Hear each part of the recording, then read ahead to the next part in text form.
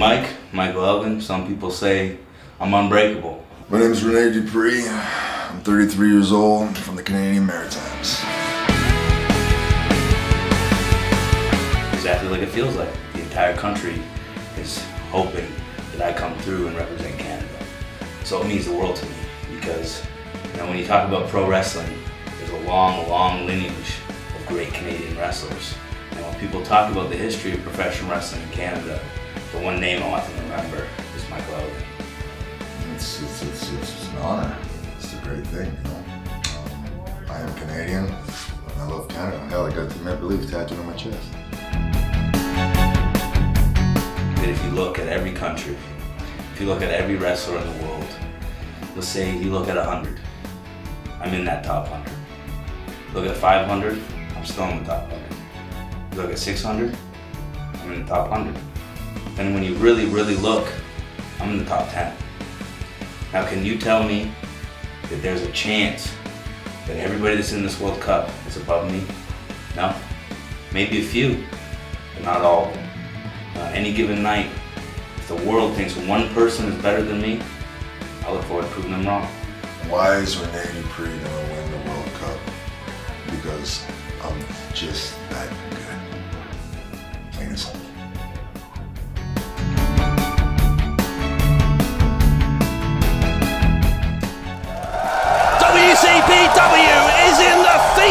Concert Theatre in Toronto, Ontario, Canada, where eight of the best wrestlers from the Great White North will compete to represent their country in the Pro Wrestling World Cup. Dave Bradshaw here alongside former British Heavyweight Champion Alex Shane. And Alex, we are getting straight into the action. A first round match between Michael Elgin and Rene Dupree. And Dave Bradshaw, what a first round match it's set to be because as our tale of the tape clearly illustrates, Rene Dupree has the height advantage, Michael Elgin has the, the weight advantage, but Rene Dupree, a second generation wrestler, grew up in this business against a man who's as hungry as they come in the great country of Canada, Michael Elgin.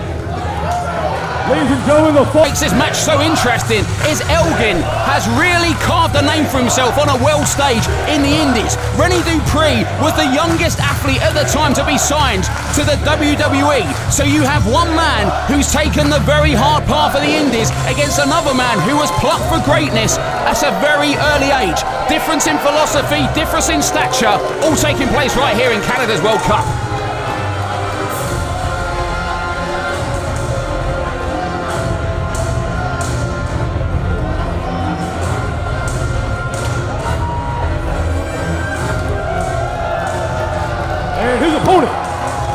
Representing the Maritimes, weighing in at 250 pounds, this is Rene Dupree.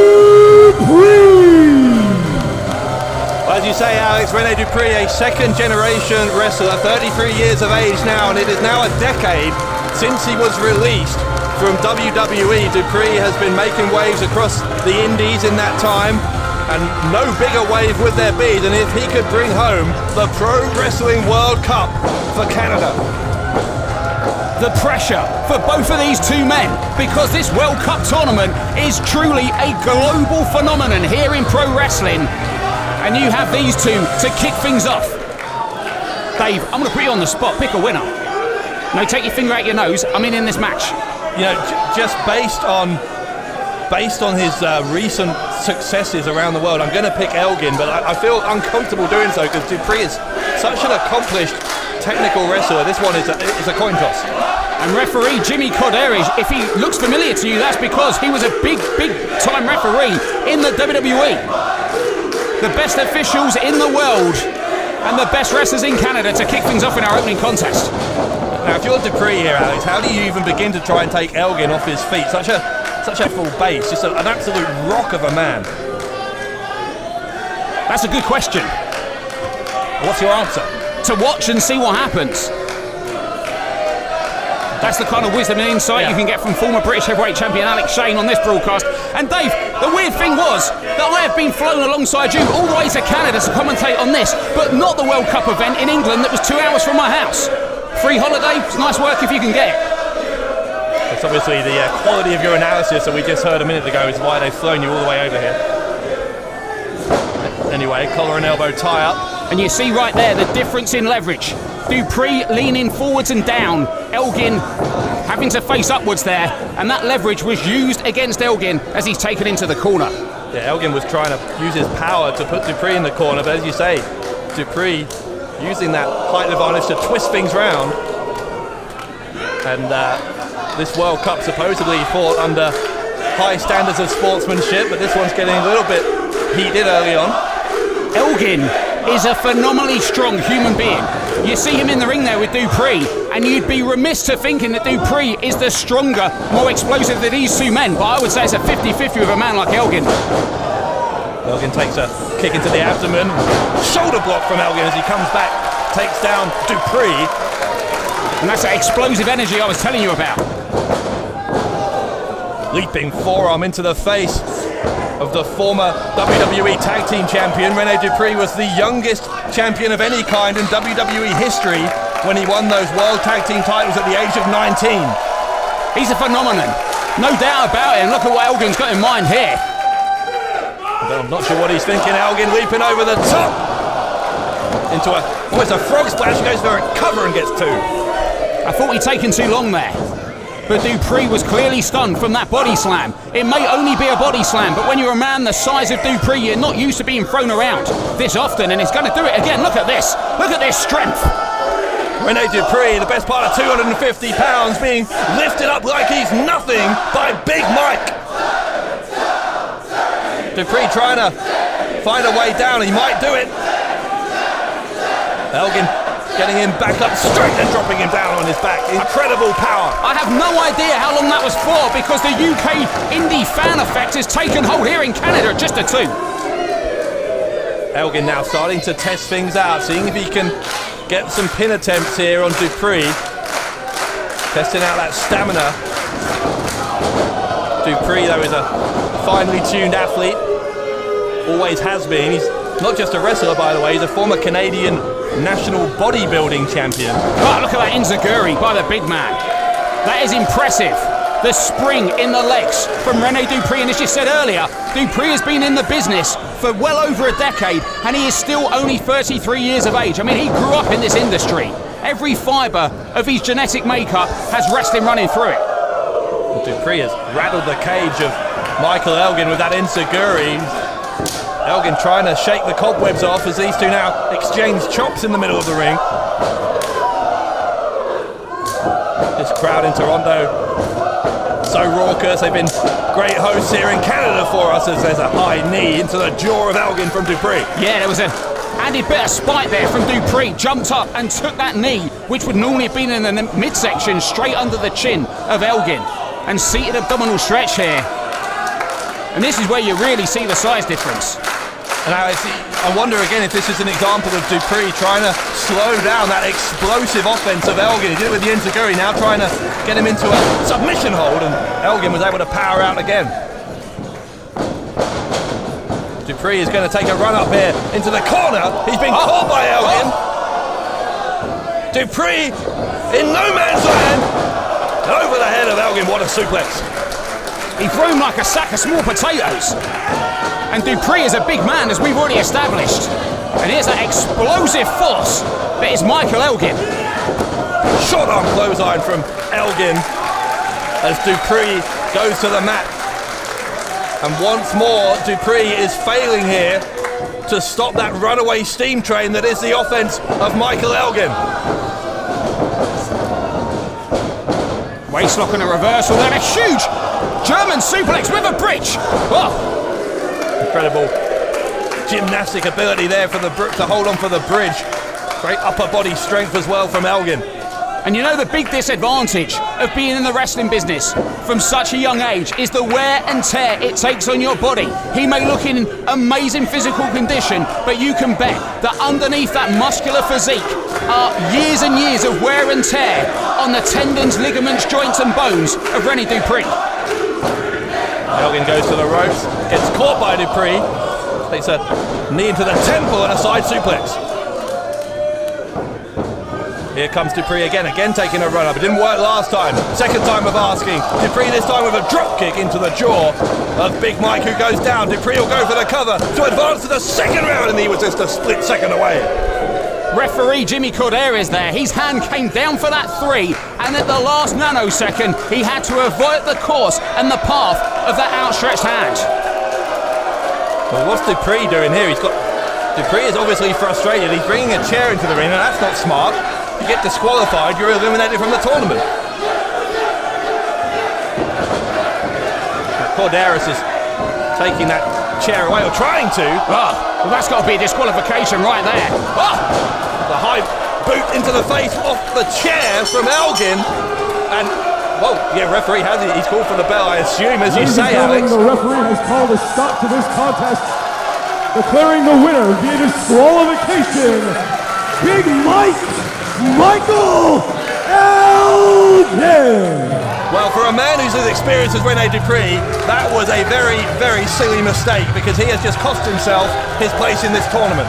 Well, to me, that looks a lot like Rene Dupree realised the trouble he was in, and instead of being pinned in the centre of that ring, he took the odds uh, at the gamble of bringing that chair in, and it cost him. He is out of this World Cup.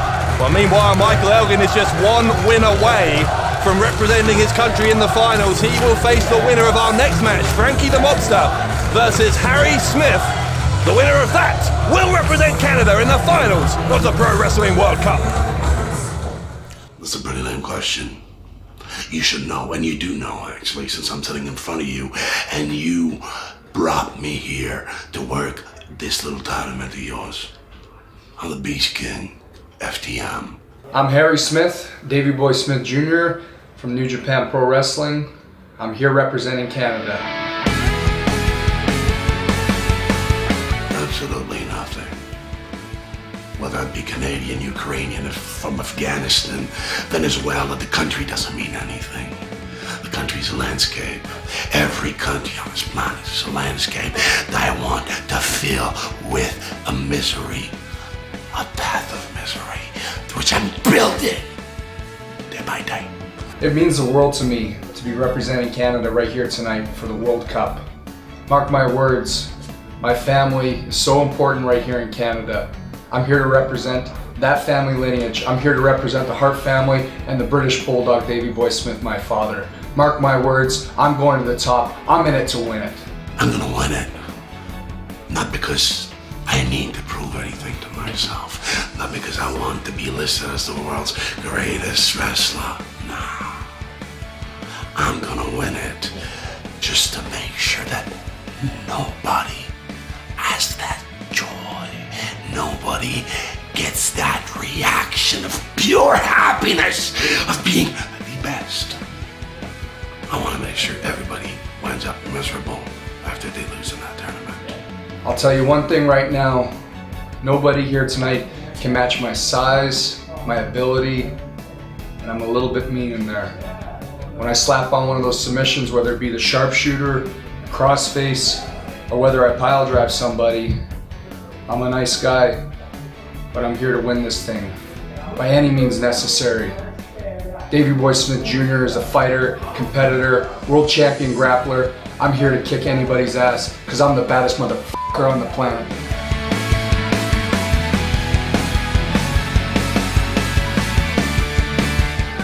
Well, we're getting ready for our second first round match here in the Canadian World Cup qualifiers. Here's the tail of the tape for Franky the Mobster and Harry Smith. And we are about to see the appearance of the son of a true wrestling legend, son of the Davy Boy Smith, British Bulldog Harry Smith, in the WCPW World Cup. Of course, Smith's father, the British Bulldog, had so much success around the world, and Harry Smith will be the favourite here. But Franky the Mobster, FTM, with something to prove.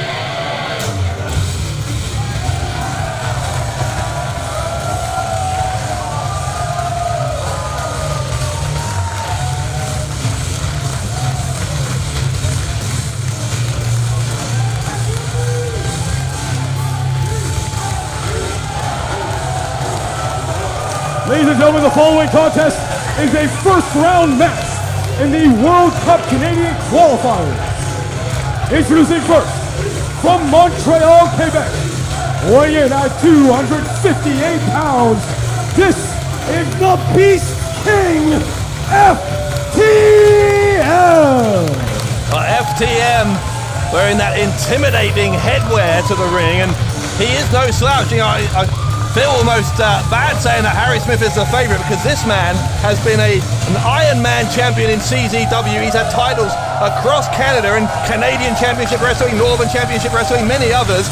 This is going to be a real, real test of a man who is part of the Hart Smith dynasty. And without question, the horniest professional wrestler in all of Canada.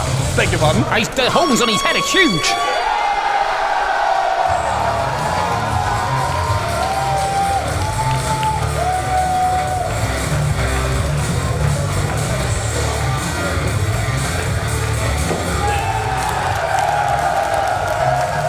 His opponent, from Calgary, Alberta, Canada, weighing in at 250 pounds, this is Harry Smith. Well, Harry Smith actually bears some similarities to Rene Dupree. He's been wrestling from a very early age, in fact, from the age of eight in Harry's case. And of course, like Dupree, had a, a stint in WWE before really having a lot, a lot of success on the independent scene afterward.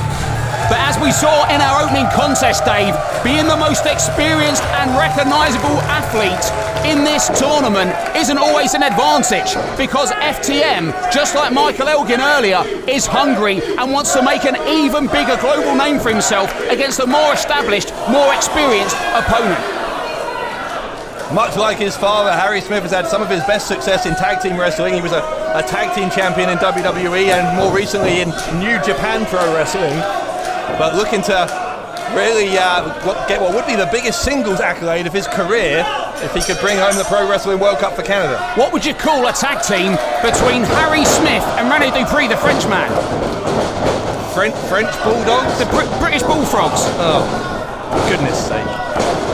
You know, because they're French. Yeah, I get it. Well, FTM is uh, trying to surprise Smith here with an explosive start, but a forearm will slow him down. Smith goes to the right to the drop kick. And Harry Smith has been on a, a crash diet recently. He has been getting in incredible shape. Uh, tr- MMA training, and you can really see the difference. Look at the strength and speed of Harry Smith. I mean, this guy was formidable as a force anyway in pro wrestling, in my opinion. But losing those extra pounds has just made him so much quicker, so much more explosive. And FTM is feeling it right here on the concrete floor. Yeah, Smith has adopted the running power slam of his father as his own finishing move, and that was almost a variation of that that sent Franky down to the mat. You saw Franky's back arching backwards as he writhed in agony.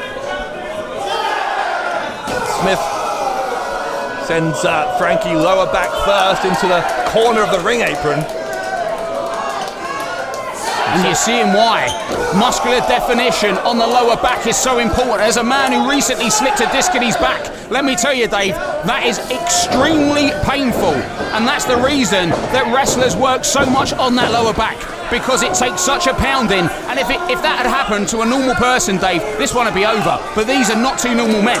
The, let me finish. Sorry, go on. They're two men qualifying for the Canadian leg of the WCPW World Cup. Now you can go. Well, I had to wait for you to say that. We know that already. Goodness sake.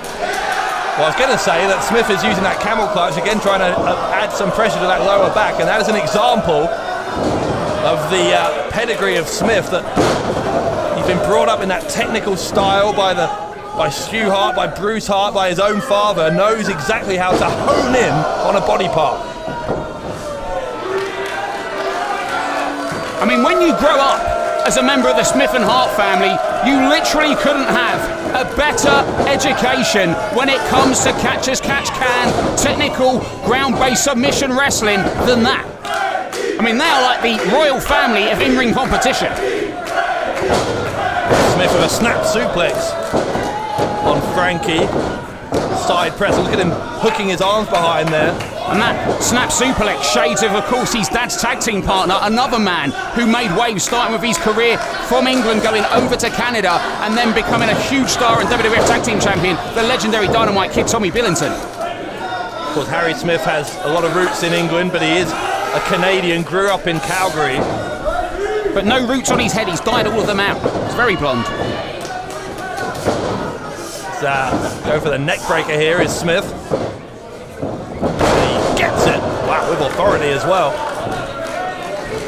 Franky is in trouble here. He's barely been able to get going in, in the first few minutes of this one. He prefers FTM. FTM. Why? Well, because if you call someone Franky the mobster, that's just a recipe to get arrested. FTM's like a code. He's, he tried to be conspicuous, as you can tell by the giant horns he came to the ring with. It's a really clever code.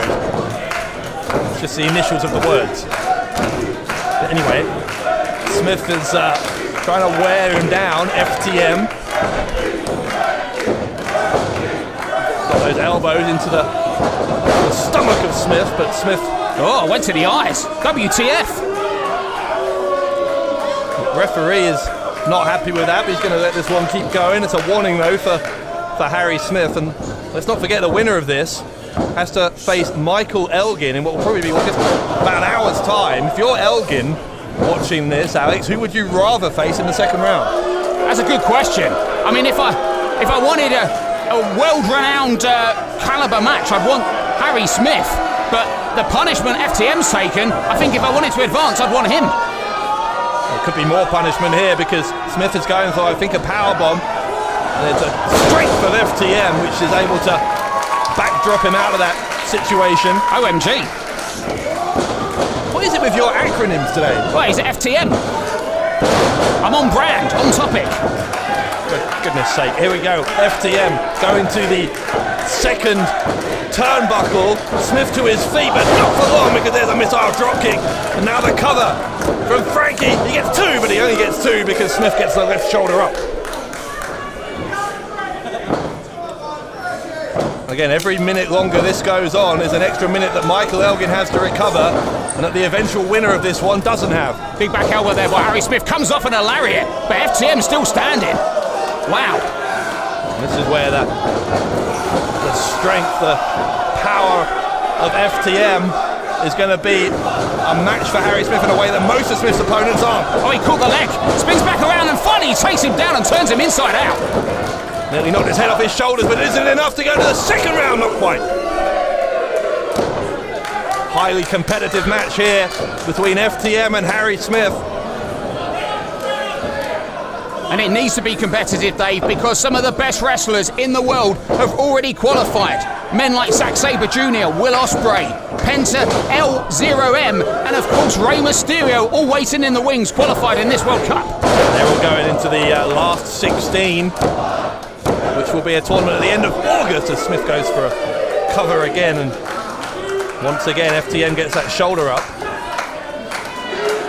Yeah, absolutely. The, the list of competitors that is growing by the week for that final tournament in this Pro Wrestling World Cup is nothing short of jaw-dropping. It's OTT. Can you stop? Ah, is he going for that? I thought he was going for that delayed suplex, shades of his dad, but instead, and possibly even worse, he's taken FTM to the top rope. Well, Harry Smith is clearly looking to end it here. And if he lands what I assume is a, a superplex attempt, you've got to think it will be over. FTM is fighting though. He knows the jeopardy he's in. Was that a bite? I think he was maybe bit him there. The ref didn't get a clear look at it by the by the looks of it as he. Oh, blockbuster neck breaker! Goodness me, cover! This could be a huge upset! A huge upset! And two, was it, oh, just He two. did. Harry Smith kicked out, but I mean, he would. That was a, a. It wasn't a lackadaisical kick out. That was a kick out from a man whose vertebrae has been compressed and his nervous system is clearly stunned. I mean, that was that was more of a. A roll out of desperation than a kick out. Yeah, it wasn't exactly emphatic, was it, from Smith? And Smith looks like a man who is out on his feet. FTM smells blood here. Going for that choke bomb, the credibility statement, he calls it. Oh, the low blow from Smith. Ref didn't see it. That's a, a shortcut from Harry Smith. Oh, that kick to the nether regions. Well, Smith's pleased with himself. Surprise at Harry Smith. Dave, that's not a power bomb. That's a pole driver. Center of the ring. If he hits this, this one is over. Oh my God. The skull of FTM Oh. bounces off the canvas That's two. That's three. And Harry Smith advances to the Winner second this round. contest, Harry Smith. Well, impressive showing there from FTM. But you know what that means, Dave? We are going to see Harry Smith against Michael Elgin in the second round. What a match that's going to be. It was impressive. I'm disappointed in Harry Smith that he took a shortcut there to pick up the win as FTM was gaining momentum. Not a tactic that is worthy of his lineage. In any case, though, Harry Smith will advance, as you say, Smith versus Elgin in the second round of these Canadian qualifiers. The winner will go on to the finals to represent Canada. More first round action coming up in just a moment. I am Brent Money Banks. My name is Speedball Mike Bailey. I'm a fourth degree black belt in Taekwondo. I'm an artist, I'm a fighter, and I love to do this. Tonight, I'm gonna prove to the whole world what I usually say to everyone anyway, but tonight I'm gonna prove what I am money, and it's about time that Brent Money Banks takes his talents overseas to England and shows that side of the world why I truly am money. It's an active goal of mine to wrestle in as many countries as possible, to represent Canada like so many other greats have represented their own countries traveling all over the world. And this Canada Cup falls directly in what I want to do with wrestling. I want to show the world what happens in Canada.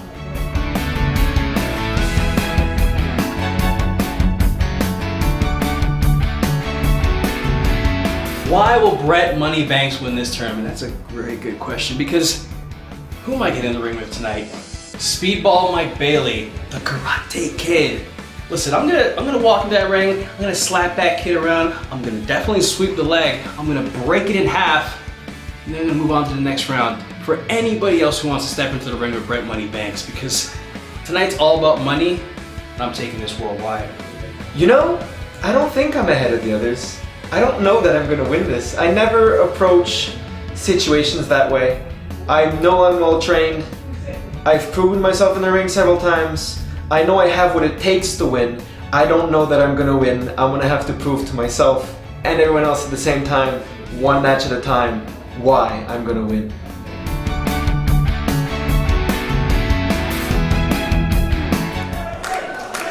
Time for our third first round match in these Canadian qualifiers. This could be a high flying encounter, Alex, between Mike Bailey and Brent Banks. And I'll tell you what, one man I've been looking forward to seeing in the flesh right here in Toronto is Mike Bailey. Because if you've not heard of him before, trust me, you will remember his name by the end of this. Taking nothing away from Brent Banks, but this one may just be a show stealer. Such a variety of different styles in these Canadian qualifiers. I promise you, this one will be very different to the first two matches you saw. I'm excited for this. Well, I'm also excited, if not somewhat exhausted. I spent the entire afternoon going around Toronto looking for the Sky Dome. It's, it's not even called the Sky Dome anymore. No one. It's pretty easy to find. The Ro- Rogers Centre. No wonder Hogan got confused. The following contest is a first round match in the World Cup Canadian qualifiers and scheduled for one fall. Introducing first, from Montreal, Quebec, weighing in tonight at 185 pounds, Speedball Mike Bailey! Mike Bailey. As you said, Alex, one of the world's most exciting young talents, and as you can see, he's demonstrating here, an expert in Taekwondo. Very much martial arts influences in his style, as you're going to see here. And this guy can fly. He's got like springs for kneecaps. What? Springs for kneecaps. I mean, not literally. I'd hope. Bailey in the ring, and we await the arrival of his opponent. And his opponent, from Toronto, Ontario, weighing in at 194 pounds, he is the one-man dynasty, Brent Banks! Brent Banks, an 11-year veteran who's uh, had a lot of success across the independent scene, particularly in Canada. Mike Bailey, for his part, of course, been very successful in Canada as well, but also had uh, a lot of victories in CZW, Combat Zone Wrestling in the US, and he's been over to the UK for such promotions as Rev Pro. So Bailey perhaps the slightly better travelled, but nonetheless, as you say, two very well matched young men. And Brent Banks has something very big in common with Doug Williams. What's that? Neither of them are related to Travis Banks. Allegedly. Tell that to WCPW Creative. No one would admit to being related to Travis Banks, I don't think. Excited for this one, Dave. Look at the uh, stretching here from My- Mike Bailey. I was going to say my nipples look like FTM's helmet. That's how excited I am. What? Oh, just don't point them this way. All right, we're getting underway. Bailey and Banks, and listen to this crowd. These two are such favourites of fans across Canada. And you know what that is, Dave? Because these guys have made a habit and a living of tearing the house down when they compete.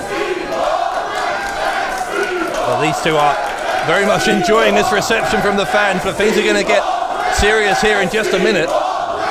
And if I could liken these two to anyone, and I'm probably going to get crucified for saying this, but it's Ricochet and Will Ospreay. Those two guys who have just set a new standard. But the exciting thing about this, it reminds me of matches like the first time I saw Rey Mysterio in the ECW arena, or when I saw Guerrero Malenko in the ECW arena also. To most of the people watching this show, these will be two completely new talents, and they know that this will be the most watched match that they have ever had in their career. And I guarantee they'll pull out all the stops, and similar to those guys I mentioned before, they will leave your jaw open and may just go on to do great things. It's uh, a great showcase for the Canadian wrestling scene, is this? You know, the British wrestling scene was in a similar position a few years ago with lots of great talent, but not quite the exposure it felt it deserved. Now, of course, the British scene has exploded.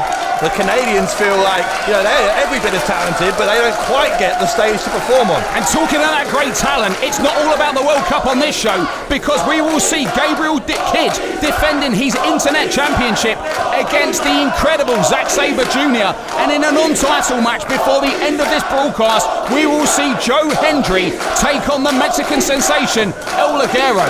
Yeah, flew to Canada to escape Joe Hendry, and he's here. Anyway, let's uh, get underway with this one. Jimmy Korderas is getting uh, a bit of love as well. He's got the most Twitter followers in this match. Well, that doesn't mean anything, does it? What world are you living in, Dave? Social media footprint is all. You are so insecure. I'm like a digital media Sasquatch hunter. What? There's a footprint reference. I give up. Bailey and Banks finally looking up here. Banks is going to push Bailey back to the corner. Will we get a clean break? Into the ropes, rather, not the corner, but he's having a bit of fun. But Banks does deliver the clean break. That's where they come from, is Canada, isn't it? In Saskatchewan. Okay, well, first of all, it's Saskatchewan, and it's got nothing to do with Sasquatches. But can we, can we move on? Collar tie into a wrist lock there, so I moved on. That's very grown up of you. Look at this. Look at the speed of those reversals from Brent Banks. Wow. And look, wow. My God. Bailey more than equal to it as he's going to get backed into the ropes a second time. Will we get a second clean break from Banks? And smart there. Brent Banks tried to send Mike Bailey off into the ropes. And Bailey was having none of it. Oh, and this time it's Bailey playing the mind games. In the end, after looking like he was going to hit Banks, offering the handshake. You've heard of the one inch punch. That was like the one inch handshake. That was super fast. Bailey with a smirk on his face as Banks is a little bit annoyed that he got outsmarted there. I think he thought he had the psychological upper hand. We're back to square one between these two. Another tile. This time Banks goes behind with a rear waist lock. Bailey going to counter. Taken down. There's uh, an example there of Bailey's amateur wrestling skills, not just a martial artist, but a great wrestler too. Front face lock there. Into a waist lock. And Banks trying to find a way out of it. The taller of the two men. We may see that a lot in this match, that sometimes the only way to escape the predicament you're in is to go to the ropes. It's the third time we've seen that. And trust me, before this one is done, that won't be the only kind of going to the ropes we're going to see. I'm predicting flying, and not just because I have to leave Canada and go back to England after this.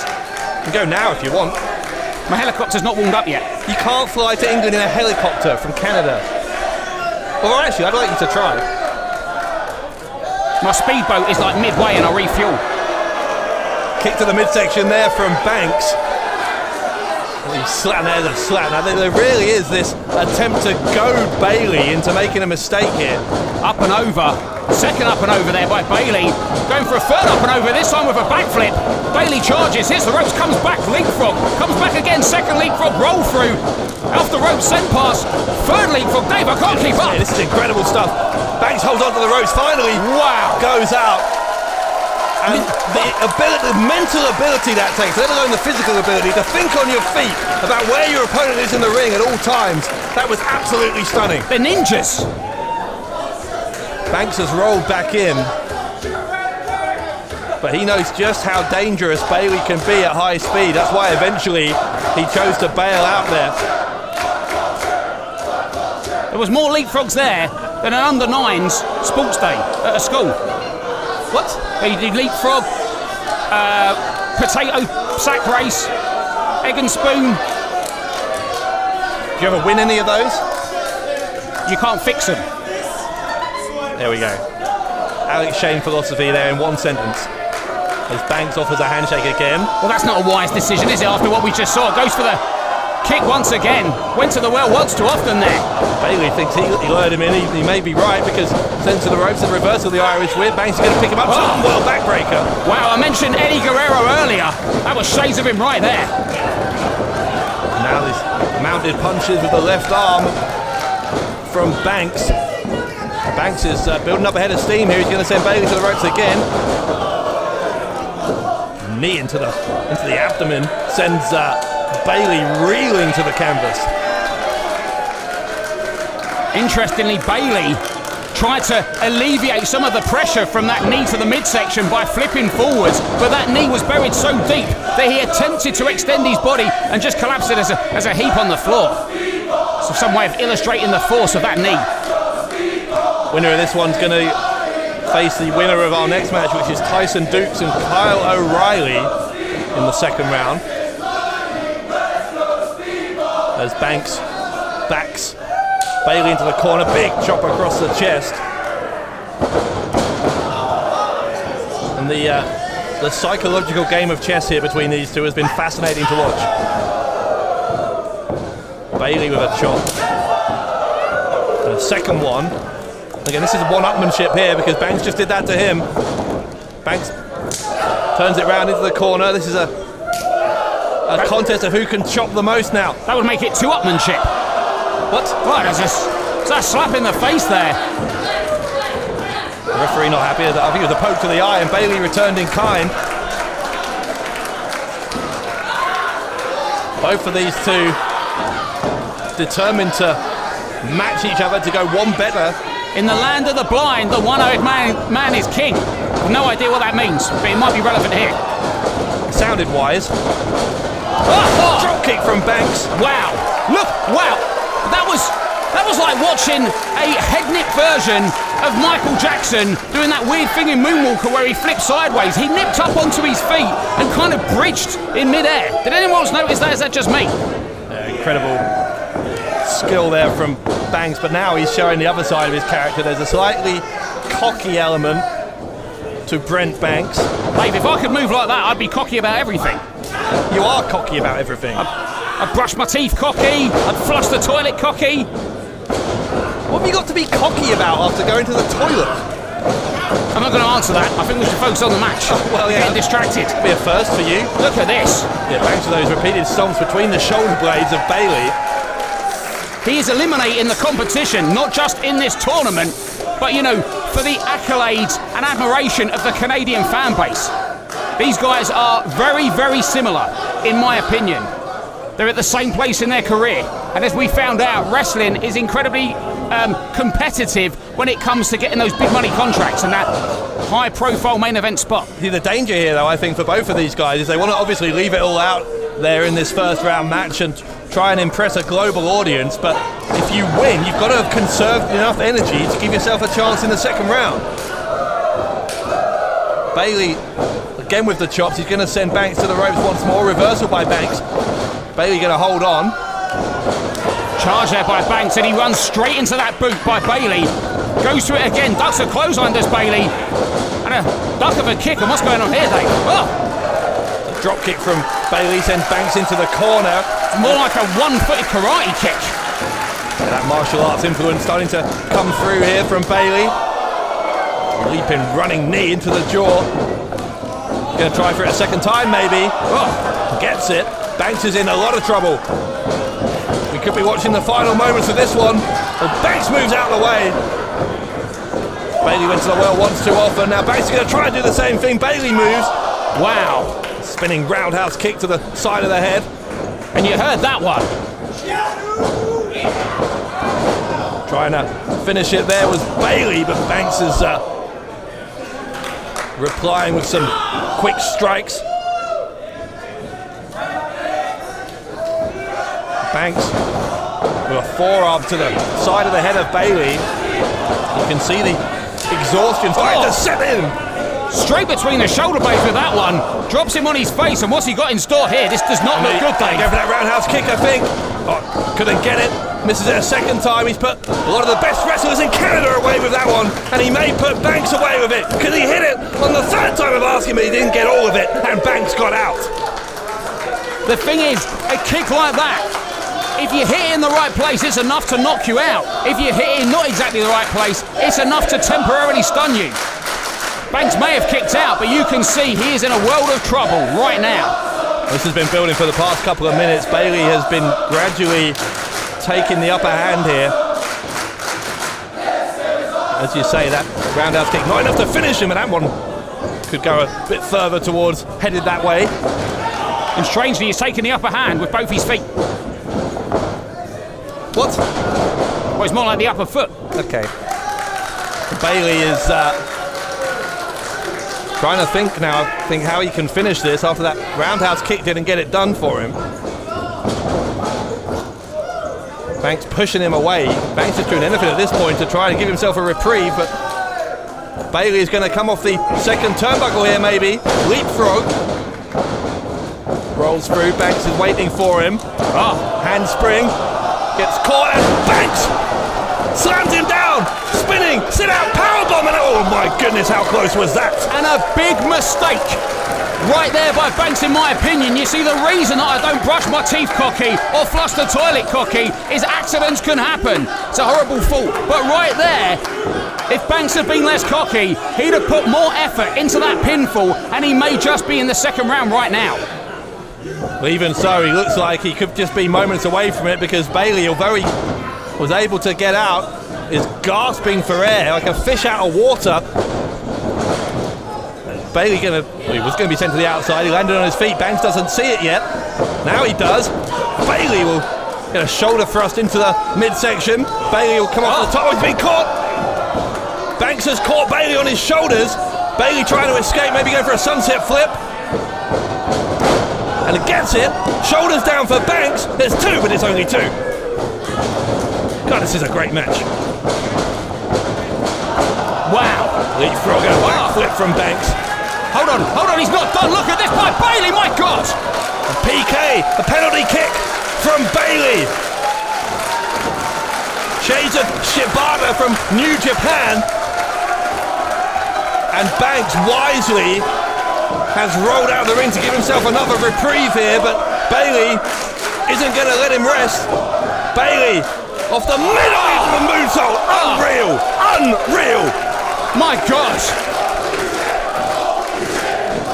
Remarkable stuff from Mike Bailey. Dave, I had made that prediction earlier that this may just be the show stealer. But I'm telling you now, even I'm amazed at this one. These guys pulling out all the stops. They are pulling out stops I never even knew were there in the first place to be pulled out. That's going to be hard to top as this one, as Bailey, Bailey's found a bottle of water and wouldn't deprive him of that. Must be absolutely shattered here. Where is Banks? Let's get a view of Banks if we can, because he must be doing even worse after taking the brunt of that impact from that moonsault. There he is. It is as you would expect Bailey to his feet first. Bailey is rolling Banks back in and waiting for Banks to get in position. Bailey, springboard off the top, he missed. Ah, he tripped. Bailey tripped. Okay, Banks a chance, but oh no, from nowhere, another spinning kick, knocking Banks silly. Oh, oh my, oh, slap from Banks. That's not pretty. That's one way to stop him. Banks again with Bailey on his shoulders. He tried this earlier. Bailey escaped last time. He rams him into the turnbuckle. Look at the way that Bailey's head snapped backwards. Oh, counter! Victory roll! Victory roll! Is that going to do it? though? Didn't sit back enough. There's a standing moonsault. It was like a standing knee shot. I think he hit with the knee. It's like a, a knee drop to beat him, and he didn't get it. Goodness me, this is exhausting to watch. You know, people have said throughout pro wrestling, when's the next Attitude Era? What's the next Attitude Era? WWE tried to get across the reality wrestling era. Well, I'm going to tell you right now, Dave Bradshaw, what era this is. This is the independent wrestling era. You're seeing the influence of independent wrestling across every stage in the world, and this is the reason why. Banks with the knee into the jaw of Bailey. Oh, oh my God! My God, what was that from my Bailey? Whatever it was, it wasn't enough. It was a moonsault body slam. Oh, it's corkscrew and a miss. Banks will go to the second rope, gets an ace crusher from the top, or from the second rope, I should say. Gonna go for it again. A sliced bread cover. That's got to be all. That's got to be all. That is. That's not all. Oh. Kick to the side of the head from Banks. Oh. Takes him down, face first, into the canvas. Is Bailey out? No, he's not. My God. My God. Dave Bradshaw. What else is there left in the entire world of wrestling moves that these two can do to each other that haven't already been done? They are on their feet in Toronto, Ontario for two of their own who are showcasing the very best of Canadian wrestling. Banks once more gonna try and ram Bailey to the corner. Oh, oh, the Canadian destroyer. How apt! How apt indeed, Dave! And look at that! Another spinning martial arts kick from Bailey. Oh, we've seen this. We've heard of this before. Oh there it is. my God! There it is, the shooting star knee drop. He's beaten some of the best in Canada with that, and he beats Brent Banks here in Toronto. What Winner of this a contest, match! Speedball Mike Bailey!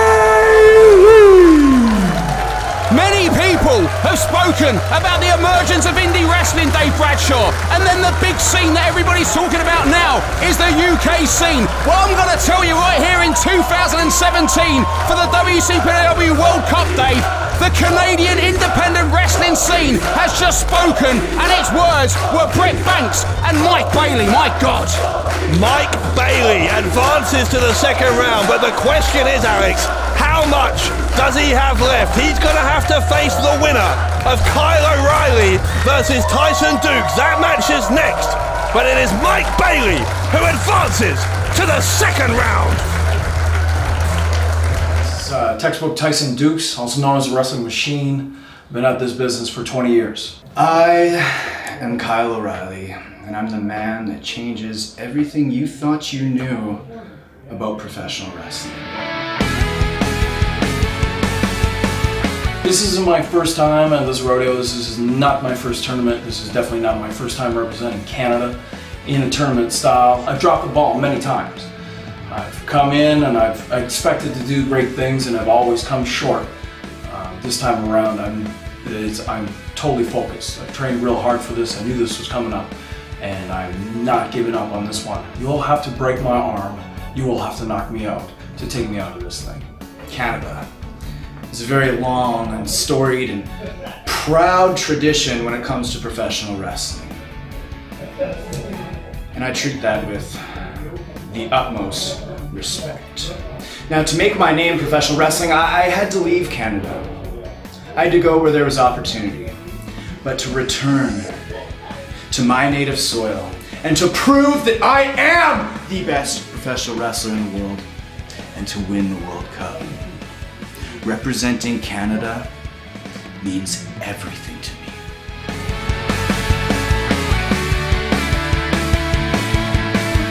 The only reason I'm going to win this tournament is strictly because I need redemption.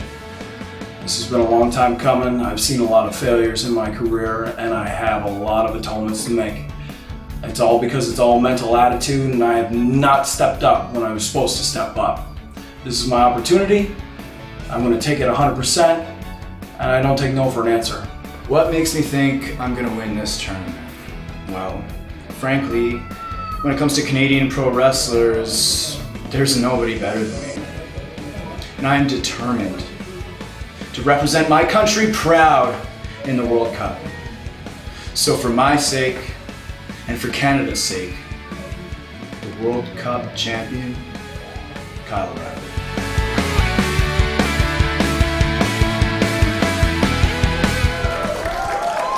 Getting ready for the last of our first round matches here in the Canadian qualifiers. It's Tyson Dux against Kyle O'Reilly. And just like our previous match, this is one I've been looking forward to. If you're familiar with the WWE Cruiserweight Classic, you'll know Tyson Dux. And of course, if you've been watching any inde- independent wrestling for any period of time over the last couple of years, Kyle O'Reilly is a man who you have will have been unable to avoid seeing. So this one is going to be something special, in my opinion.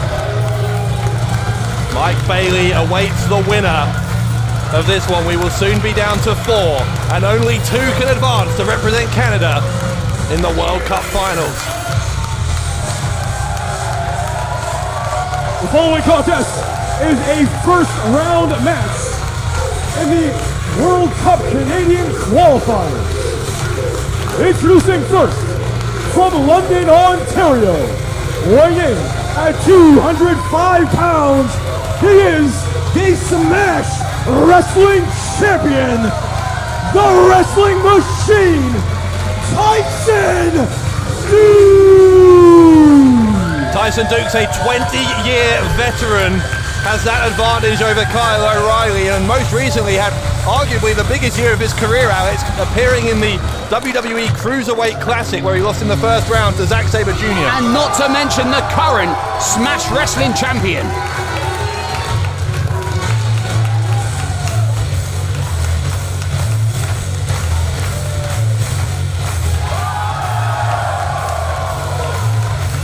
And his opponent, from Vancouver, British Columbia, weighing in at 210 pounds, he is the violent artist, Kyle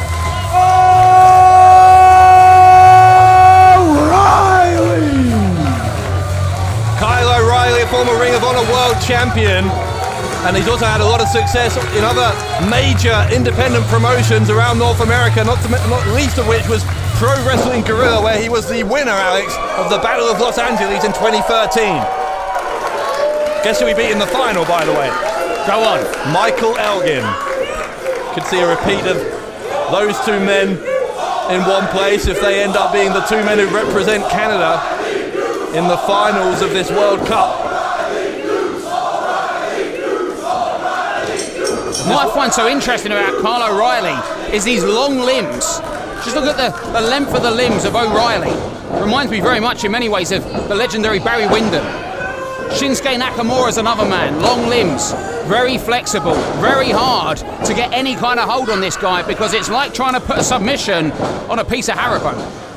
What? Well, because they're long and they're stretchy and they're bendy. And also, they're not going to submit because they're just a piece of candy. You are so strange sometimes. O'Reilly with the wrist lock. Interestingly, this one started with a collar and elbow tie up as well. I think all four of these ones of these uh, qualifiers have started that way. And look at Kyle O'Reilly there with that wrist lock, digging the head into the wrist, keeping close, digging the head in between the shoulder blades. Kyle O'Reilly knows exactly how to exert maximum energy and pressure in all these holds. The one count, and look at that from O'Reilly countering into a submission. He's got that right arm of Dux. Floating over, but Dux finds a way out, and now he's back to the wrist lock. O'Reilly having to try and maneuver himself to try and keep the pressure off that left wrist. Dux's doing a good job here of wearing him down. Alex, I asked you this one with regard to the other half of the bracket, but now that Mike Bailey is in the second round, who do you think he would rather face next? Well, I mean, the big question for me is what kind of condition is Mike Bailey going to be in after the contest we just saw? I think either of these two men would be equally tough competition for him in the second round. Of course, the advantage Bailey has, goes without saying, is that uh, there will be a, a few extra minutes recovery time for him, obviously, thanks to the luck of the draw. I will tell you this as well. The, the, big disadvantage that I think Mike Bailey would have if he's in there with Carl O'Reilly is Carl O'Reilly stays so, so close, and a lot of the striking that is used by Bailey would be a huge disadvantage if he didn't have the distance to fully extend his limbs on those strikes. Carl O'Reilly, as I've said it since the opening bell, he has not lost physical contact with his opponent. That's a great point. and Dux's uh, sent to the ropes by O'Reilly. Shoulder block sends O'Reilly down, and O'Reilly is tendering that uh, left arm, left shoulder a little bit. And O'Reilly, all business, goes back into that corner to regroup, and look at the hole he is staring through his opponent. This guy is focused, motivated, and determined to leave here, making his way into the next round of that World Cup. It is intensity personified as Kyle O'Reilly as we get another tie up and uppercut now from O'Reilly. Such aggressive offense. Even the way he took that headlock, that added twist, it's almost ripping the head off the shoulders of Tyson Dux. Headlock can be a really effective move if it's done in the way that Kyle O'Reilly does it, but Dux sent him to the ropes. A stalemate there, neither man goes down. O'Reilly, I think, he's being challenged by Dux to go for that again. And again, Dux goes nowhere, so O'Reilly going to switch, goes for the kick, and this time gets Dux down. More of an explosion behind that shoulder block and straight there. Again, keeping it close.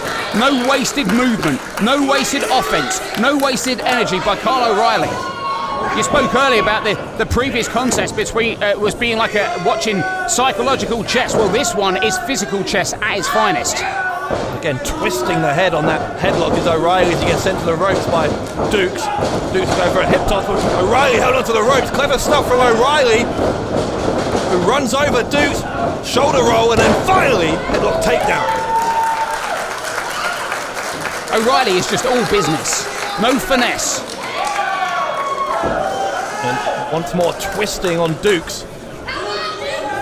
Referee asks if he wants to give up. I don't think Dux will give up to that headlock, but it will certainly take away a lot of his energy, take away some of that blood flow to the brain.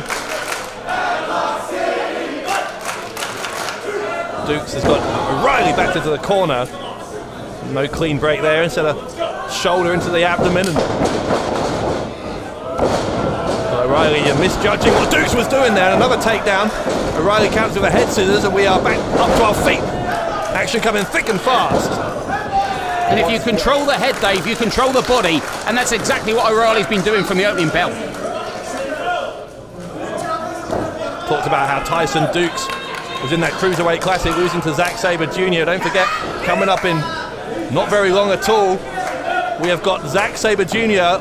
here this evening in Toronto as well. He's going to challenge Gabriel Kidd for the Internet Championship. Plus, Martin Kirby, yeah, I said it, Martin Kirby makes his Canadian debut on this very broadcast. I'm excited about that. I've got my glow sticks and everything. Oh, please. It's probably they got through customs.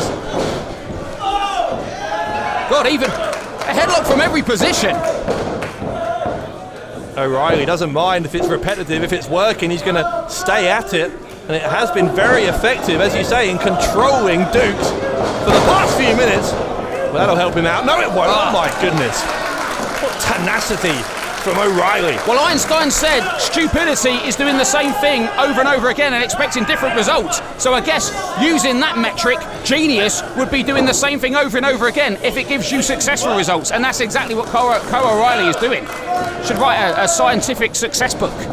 be a bestseller. Yeah, but you, you could do the forward. That might affect sales, though. O'Reilly has Dux backed into the ropes. Goes for that high roundhouse kick, but Dux gets out. And Dux definitely needs to get his breath back here because he's been in that headlock a long time, but ah, oh, O'Reilly not going to let it out. I'm going to name that book Headlock the Deadlock. Because it rhymes. Put it in the self-help category. Yeah, you need some self-help. O'Reilly trying to block his path oh. into the ring post. And Smart. Well, that might be the opening that Dux needed to get a foothold in this match as he rolls O'Reilly back into the ring. Again with the head, or he shouldn't put his head down there because that gave O'Reilly a chance to go back there. Dux was trying for a side suplex, I think, but that was a not necessarily the most intelligent thing to do. Forget dot dot dot dive. It's dot dot dot headlock in this one. Oh, and that will change things. The knee, such a delicate part of the human anatomy, you can easily pop that ball out of the socket. He should be Randy Orton's favourite wrestler, Kyle O'Reilly. Kyle O'Reilly's a lot of people's favourite wrestler because he is, as we've noted, so uh, business-like, so intense. But Dux has done a good job now in the past couple of minutes of finding a way to take him down by focusing on that left leg. Well, for a headlock to be successful, at least uh, uh, when you're standing up, you need a wide centre of gravity. You need a wide base in those legs, and that is almost impossible to achieve when one of those legs has difficulty standing. O'Reilly is trying to get those forearms to take out Dux, but Dux had him in a very compromising position, and it was easy for him to sweep away the other leg. And again, more damage to that left leg. The knee in particular taking the brunt of this abuse. No, right, this could be trouble for O'Reilly, you know. He's in the middle of the ring. He is screaming in pain. I don't know if O'Reilly can find a way out of this if, if Dux can continue to cinch down on this hold. And you mentioned earlier that match that Dux had with Zack Sabre Jr., the most, I would argue, the most watched match Dux has had. Definitely the most watched match by Dux because he would have gone back and analysed that tape again and again. It would have been indelibly etched into his mind, and you can almost see the influence of that Zack Sabre Jr. match taking its toll right here on Kyle O'Reilly's knee. He's relentless on that. Zack Sabre Jr. is known as the technical wizard. Well, we've seen some technical wizardry from both of these guys in this fourth of four first round matches in the Canadian qualifiers. And once again, you've got to look to the second round here. Even if O'Reilly can find a way back into this one and somehow beat Tyson Dux, how on earth is he going to survive against Mike Bailey if he can barely put any weight on that left leg? And that knee pad only gives you padding at the front of the knee. And unfortunately for Kyle O'Reilly, the impact of kneecap and steel had no protection on it because it was right on the side. O'Reilly is having to use the ropes to try and get himself back to a vertical base, and Dux is being absolutely ruthless and continuing to focus on that part of the body. At that kick. Yeah, and again, straight to the side of the knee, not the front, the side. He wants to knock that kneecap straight off. Dux, elbow and whole body weight falling again. You're right on the side. And O'Reilly is almost helpless here. He has been for a couple of minutes. Oh, is he? Ah! No, he's not. Wow, going for Armageddon. He calls it the cross arm breaker. He's got that, that left leg hooked up as well, so that gives Dux less opportunity to use his legs to escape. Into the arm breaker, it hyperextends the elbow, but Dux very quickly and very wisely gets his right ankle onto the bottom rope. That was almost a biblical strategy of offense. Because it's Armageddon. I was wondering why you've gone quiet. Whenever you go quiet, you're thinking of a pun. No, it's always there. That's the scary thing. Dux has got O'Reilly. Oh. O'Reilly lands on his ah. feet, but look at that. Did some more damage to his own knee, and again uses the knee to attack the head of Dux, but he may have done more damage to himself than to his opponent. Both men down. Referee has a count on. This is a a chance for both of these guys to get their breath back. They're definitely going to make it up before 10. In fact, O'Reilly is up already. And even when he's kicking with the right leg, just putting his body weight on the left leg is hard for him here. In many ways, kicking with the, the right leg would be worse than kicking with the left.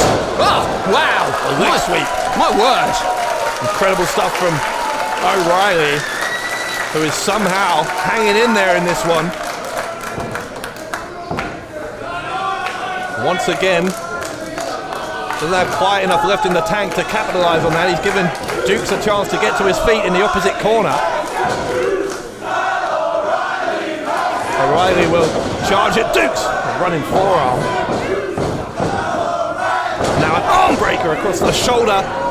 Side suplex. Oh, a leg lock now. Wow. Hold on. Oh, ah, I thought it was. Oh, oh Dux has countered. Wow, he did. It was hard for me to see what was happening there. Dux was looking for something and he got it. And again, it's that left leg. It's the left leg of Kyle O'Reilly.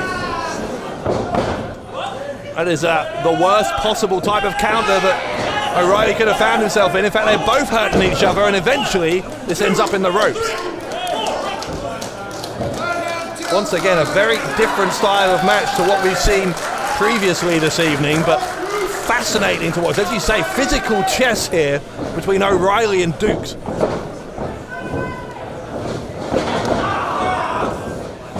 Dux screaming out as O'Reilly some more kicks and using that right leg. Straight to the elbow. And again, look at that. Oh. another arm breaker and gets it. The human arm is not meant to be bent in that way, Dave, and at that speed. Just brutal. These two have inflicted so much damage on each other. Could be easy pickings for Mike Bailey. And O'Reilly kicking straight to that arm. Yeah, and that's a good point, Dave, because Mike Bailey is the only man who's going to benefit from this. And the longer this goes on with every single strike, you've got to think Bailey is looking at this match on a monitor backstage, and that smile on his face must be getting wider and wider.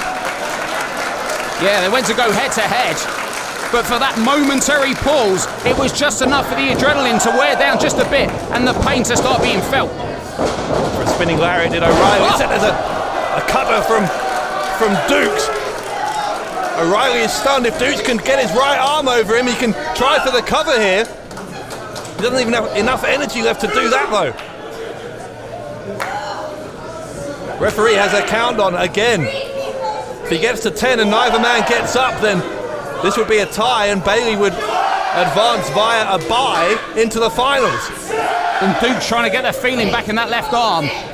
As is O'Reilly with that left leg. Back to back go both men, they turn around. Oh, and Dux's got the best of that.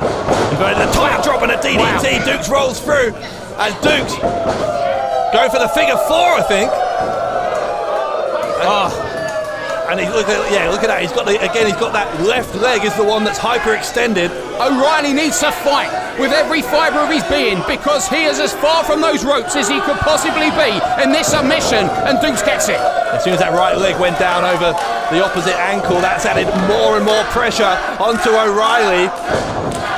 And Dux knows that he could be moments away here you know, if O'Reilly doesn't tap out, he may pass out. Such must be the degree of pain he's in right now. And O'Reilly is looking to reverse this by rolling over. And even though it will flip the pressure onto Dux, it will still keep agonising pressure on the leg of O'Reilly. And that was smart because, as I was saying, Dave, he knew that was going to be the case. So he rolled all the way through and made it to the ropes. Once again, trying for the left leg is Dux, but this time O'Reilly sends him to the ropes. Double clothesline, both men down. This one has gone on a long time and it has been punishing. Referee once again counting.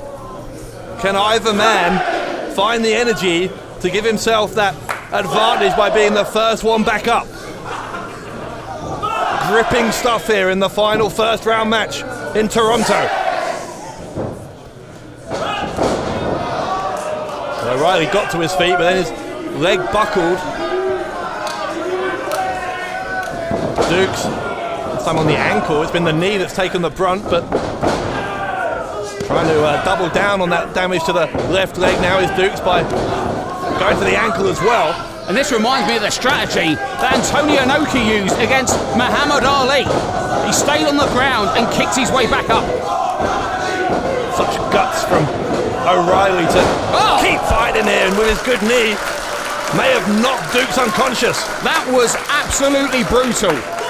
I mean, the force of that high knee in the side of the face of Tyson Dux. I mean, he could be out, Dave. He's moving, but the lights are on. Nobody, I believe, will, will be home after that. Look at this. And it's definitely O'Reilly who's going to be back up first this time. Dux doesn't know what side of the Atlantic he's on. He could be anywhere. Trying for a suplex, but once more that leg causing problems for O'Reilly as Dux tries to block the suplex successfully twice. Oh, Grovit. Front face, look, at that. Twisting the neck in the same way those headlocks were he- earlier in the match. What's he going for there, Dave? Well, Dux is trying to trying to grab the right leg, see if he can. Yeah, O'Reilly's got all that forearm. And what happened? Is he out? Well, I'm not sure if Dux Dux may have passed out. Uh, uh, referee has not called for the bell. We had the forearm across the carotid artery of Dux, so that was enough to send him unconscious. But interesting decision by both the referee and O'Reilly there to break that hold. Yeah, why don't Riley stop? Well, Could have got this by, by knockout. I said the lights are on and no one's home. That's how it looked. Oh, oh, oh, the reversal there. But oh, he's got him in that sleeper, Dave. This, that really could do it. Again, it's not pretty, but Dux was so close to passing out a second ago. Oh, that's smart though. The leg this time. Counter from O'Reilly, who's trying trying to break that left arm. Almost a version of the Kimura lock he's trying for there is O'Reilly. And fighting against Carl O'Reilly is like trying to win a battle with a pit, a pit bull. He just keeps going for anything. Once he's locked in with those teeth, and it's not his teeth, it's his limbs, he's devastating. And look at that brainbuster. That might do it. Lateral press. Left up, shoulder up, but it's the left shoulder that falls victim to the Armageddon. And he taps, he Ah. taps, he taps. Kyle O'Reilly Winner of this survives a war. Kyle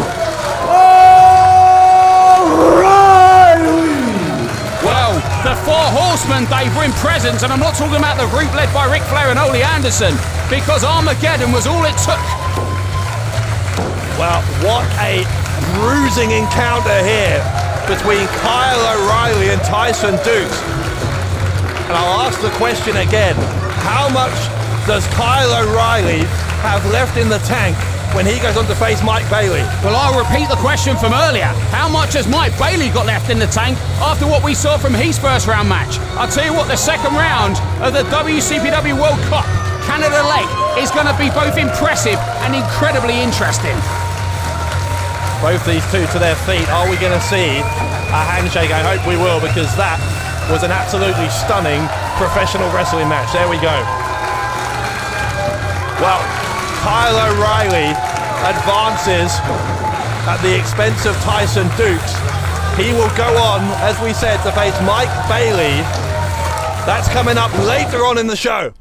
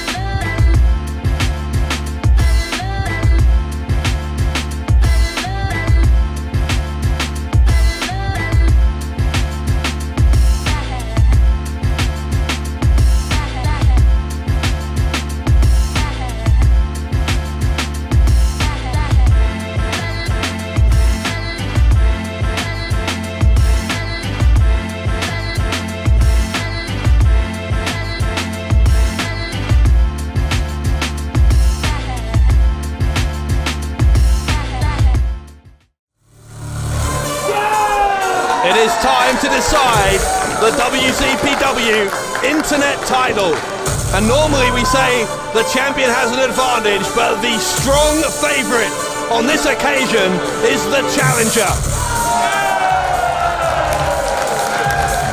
He is on his way to the ring. The technical wizard. From the Seven, Captain weighing at 13 and one half stone, this is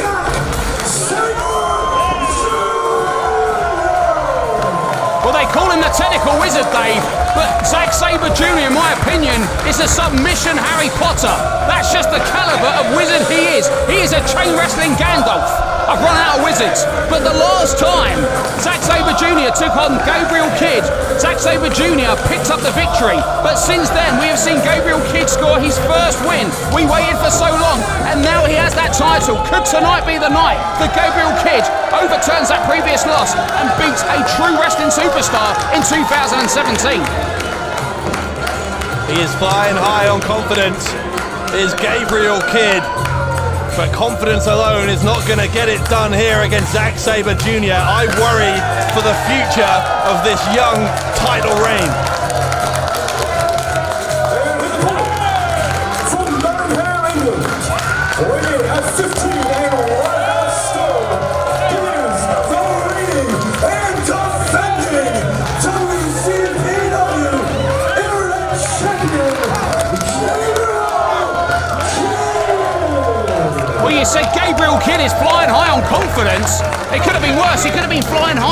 Amin's magic carpet because Amin obviously missed this venue and went straight over the top of it. He is not here. You actually believe that magic carpet stuff, do you? I've seen him. He, he flies on it. All right. I don't know what you'd eaten that day, but maybe don't eat it again. Gabriel Kidd at no regrets had one of the most emotional moments in WCPW history when he finally snapped that 0-26 losing streak to pin Cody Rhodes and become the internet champion. But that seems like a long time ago now as he stares across the ring at Zack Sabre Jr. And this is where, I hate to say it, Gabriel Kidd has a huge disadvantage. Not just because of how good Zack Sabre Jr. is, but this is where jet lag will play into this. You see, Zack Sabre Jr. is used to wrestling all around the world. He is a jet-setting superstar. This guy goes to Japan, all across Europe, to America regularly. This, as far as I know, is Gabriel Kidd's first overseas match. So the stakes are high, the pressure is on, and he's probably not got uh, enough sleep. You know, sometimes a lack of sleep can make you worse, or sometimes it puts you in that awkward state of awareness and you become better. Only time will tell. Yeah, Sabre Jr. now resides in New York City, which isn't actually that far from Toronto in the grand scheme of things. As you say, Gabriel Kidd just less than 12 hours ago landed in Canada, flying over from the UK.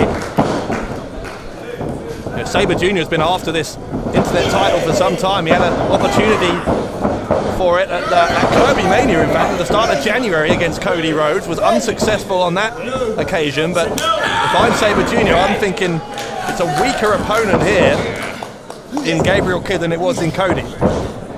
I mean, Zack Sabre Jr., you just see by the sheer force of how he applies any time. I mean, normally most people grab a hold or grab a body part. Zack Sabre Jr. wrenches the body part to grab it. It's just a totally different style, and it makes everything he do, does, sorry, so effective, so brutal.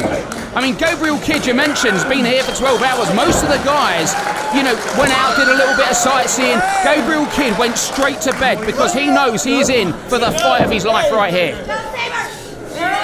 Sabre is pulling on the chin. He'll just, I've said this before, but the way that Sabre Jr. just reaches with all of his limbs, just grabs any stray body part and just tortures opponents. It's unlike any other professional wrestler on the planet. And the most interesting thing for me when you watch Zack Sabre Jr. wrestle is you keep a look on the face and particularly the eyes of this man. He is always thinking, even when he's in pain, you can see the wheels and the cogs turning because what he's looking for is not a moment's rest for his opponent. He wants to go straight back to another hold. I mean, this guy is an intellectual, a thinking man's professional wrestler. Unlike the, the, the likes of which, sorry, I don't think we've ever seen. He's that good. Twisting the head of Gabriel Kidd here.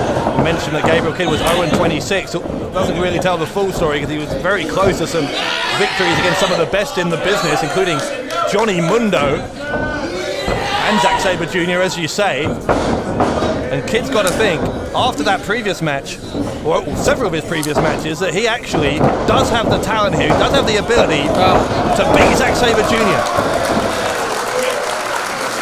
Sabre Jr. is so fast. So, so fast. And you notice when he's in a hold, he will reach out and touch as many different parts of his opponent's body as possible. It disorientates his opponent. They can't tell if he's going for the head, the arm, the leg, and that's one of the strengths of Sabre Jr.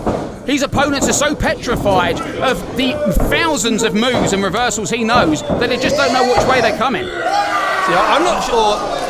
Correct me here. You're, you know, as a, as a former wrestler, but if you're Gabriel Kidd here, do you really want to try and take Zack Sabre Jr. on the match? No. It seems to me it's a bad plan. Totally not. But you've got to remember the last time these two fought each other, Gabriel Kidd mixed it up. And there was a point where he hit that kamikaze crash roll rolling Samoan, followed by a moonsault from the second rope. And literally, and this is why they call him a wizard, Zack Sabre Jr. caught him in that cross arm breaker while he was in midair with a moonsault. So Gabriel Kidd knows no matter what style he uses, no matter what moves he goes for, Zack Sabre Jr. can get those submissions from anywhere. Sabre's gone behind with a hammerlock now, grabs a headlock.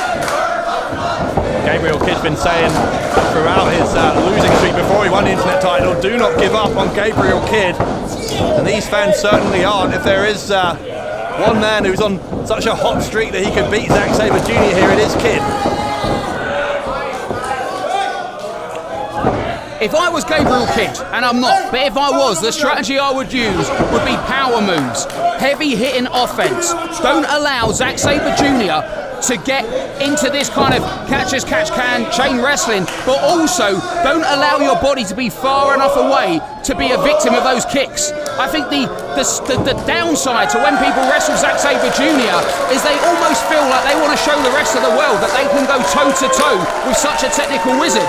It's a young man's mistake. They get in there, they want to prove that they can wrestle at his level, and then they fall victim to Zack Sabre Jr.'s repertoire of moves. Look at that though. Kidd just was able to sort of unceremoniously take his ankle out from that hole from Sabre, and Sabre looks absolutely furious at himself. A bit of um, humiliation there from Kidd, and Sabre Jr. is not going to stand for that.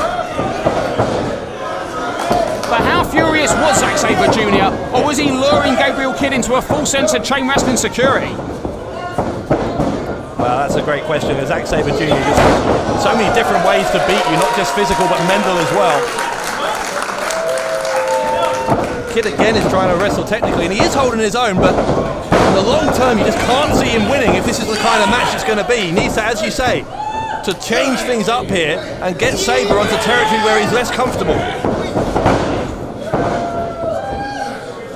I mean, credit to Gabriel Kidd. He's going move for move with Zack Sabre Jr. I mean, that is an impressive feat right there. Bending the fingers backwards. Sabre, you see, see how quickly Sabre knows the way out.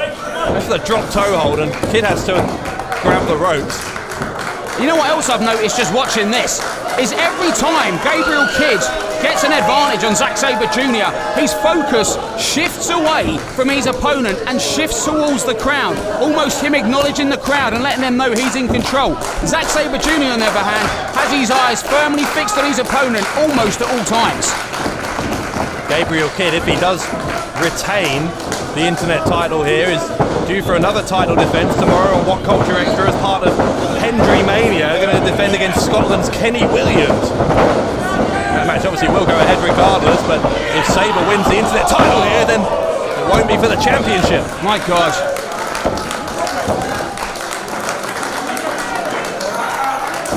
Kidd is, uh, yeah, listen, well, listen to that from Kidd. Absolutely cannot believe the pain that Sabre Jr. has been able to inflict on him. That twisted in the neck, Dave, if that happened to a normal person, I would feel confident to say that at least a few of those people would have a broken neck as a result of that. I mean, it's the neck strength that pro wrestlers develop over time with constant bridging that prevents that from happening. But a few of those, even to a pro wrestler, oh God, look at that. Double whammy. Kidd was trying to get to the ropes with his hand. He finally does with the other hand, but not before Sabre Jr. has bent those fingers backwards. I physically winced there looking at that. Goodness me. Sabre Jr. Again, and this is where we're starting to see. You talked about credit to Kidd for going hole for hole with Sabre Jr., but that cannot go on forever.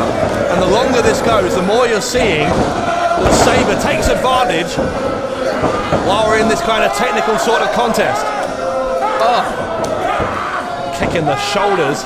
Listen to that. Kidd screaming in pain.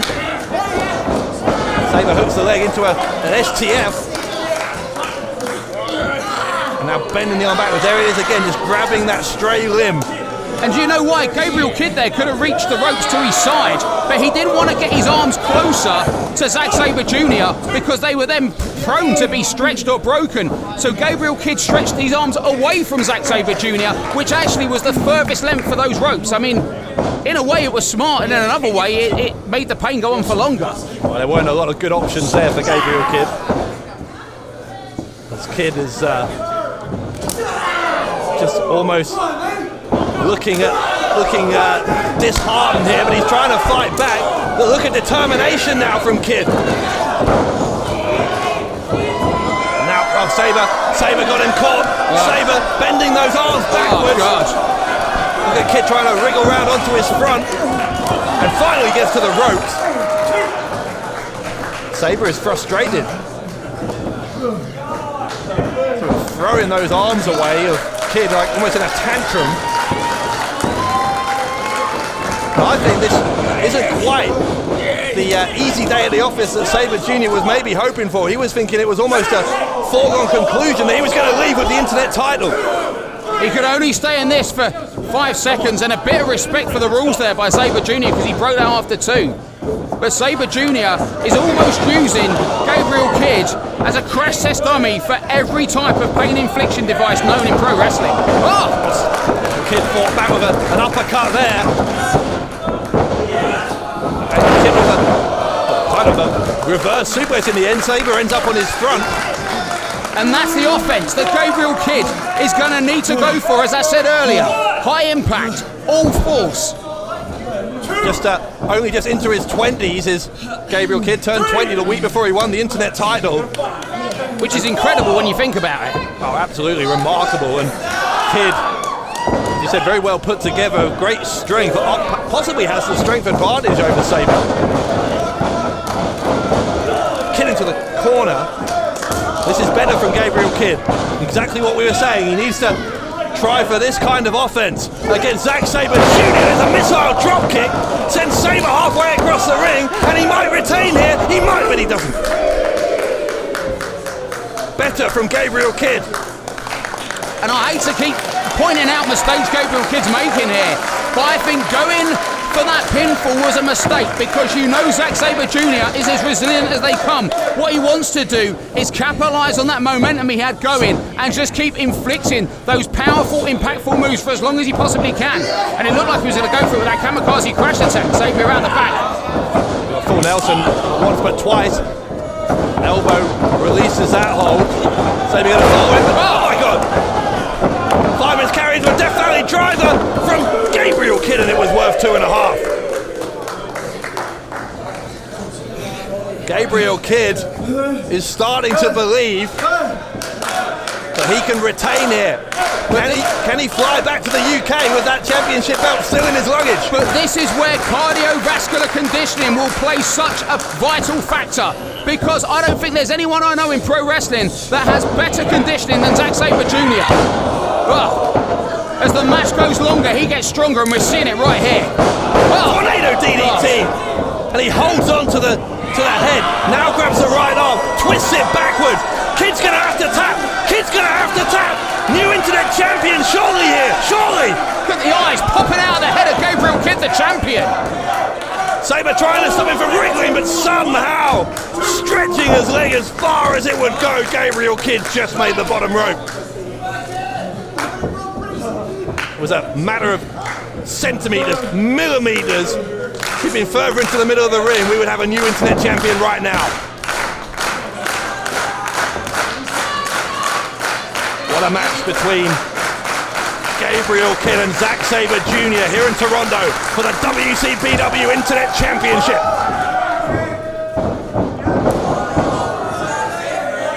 Sabre. That look on his face, and he can't quite believe the resilience of this kid. Kidd is giving as good as he gets on these strikes. And Sabre cranking up the intensity again. Kidd still as good as he's getting.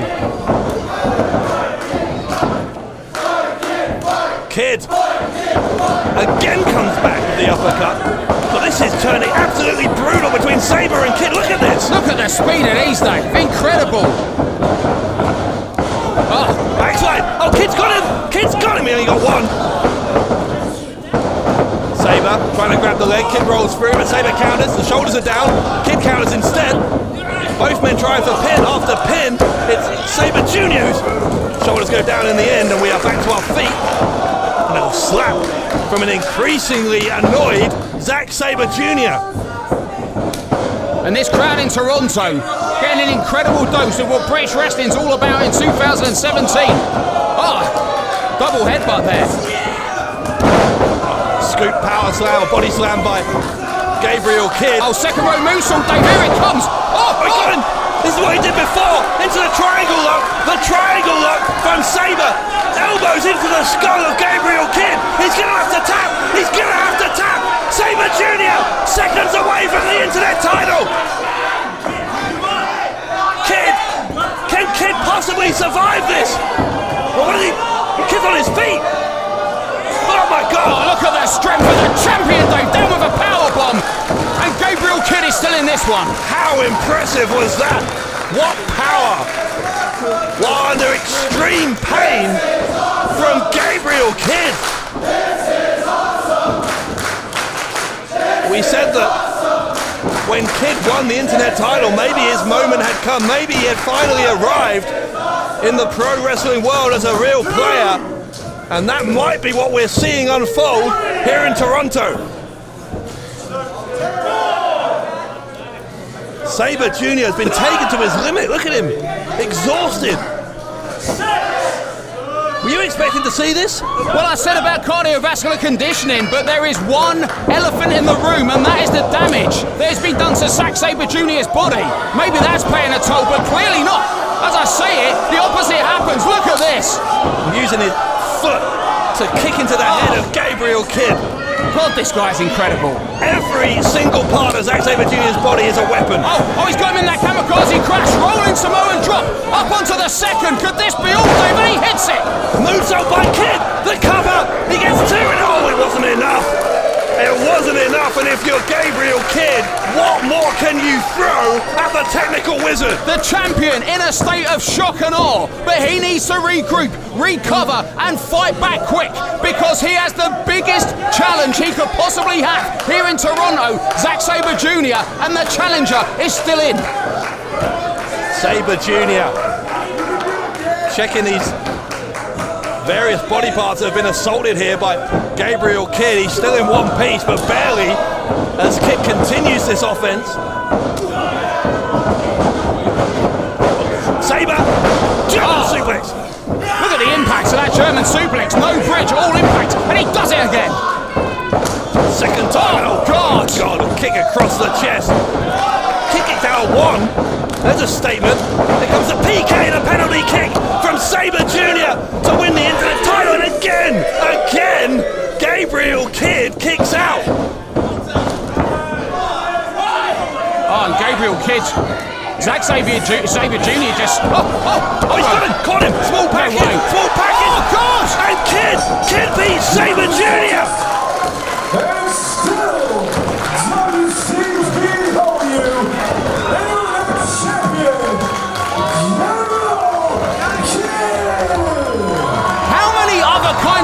Cup have you seen where a penalty kick makes all the difference? Well, that's exactly what happened in this Internet Championship match. Because as Zack Sabre Jr. went for his third and as he probably fought final penalty kick, it turns out the champion played dead, went for that small package, got it, and that was the end. The champ retains.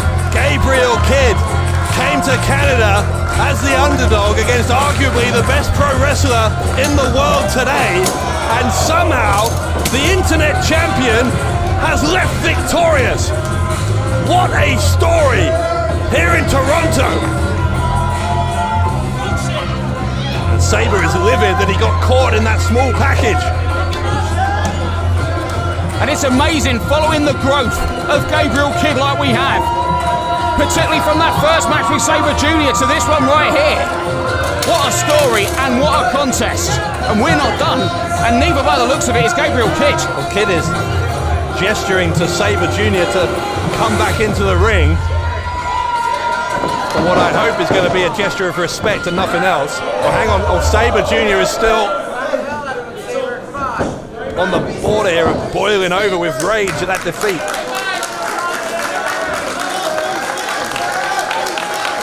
Oh, Sabre, look at him. Look how angry he is.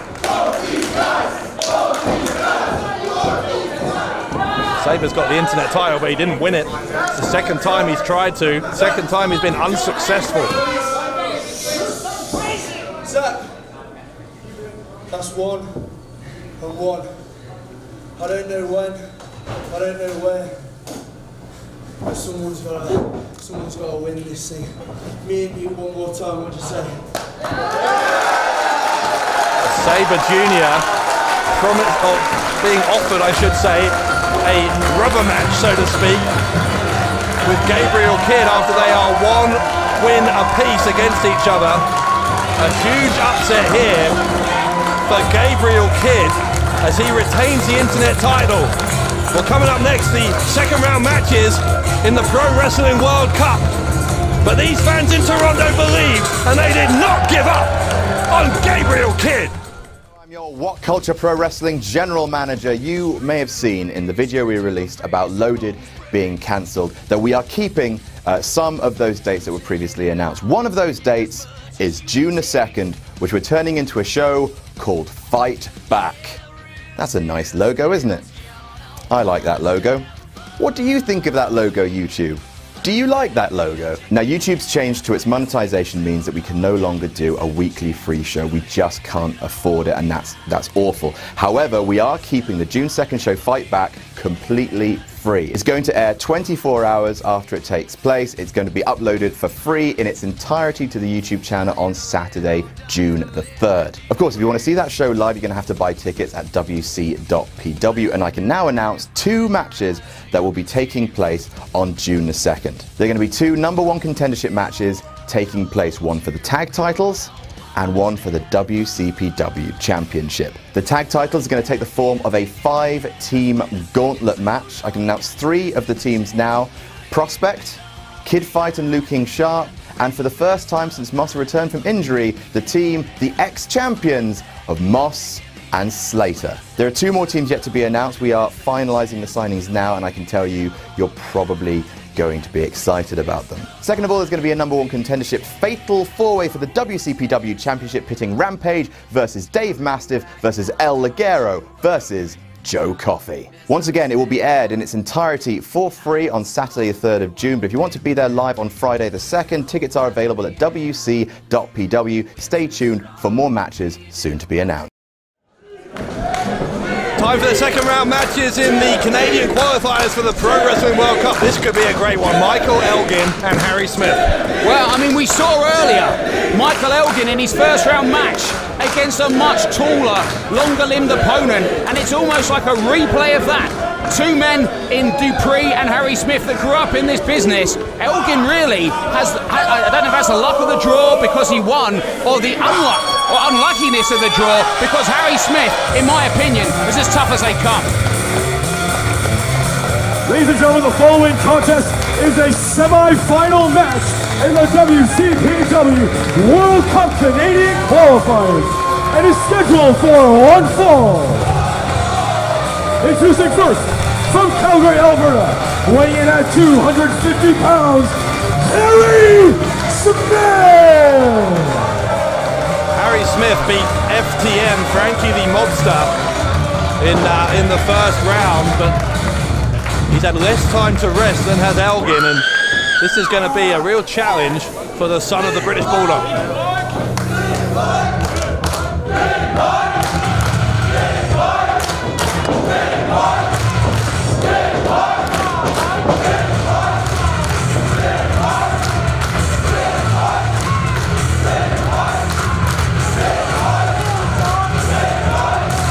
His opponent, from Oshawa, Ontario, weighing in at 255 pounds, Big Mike Michael Elgin!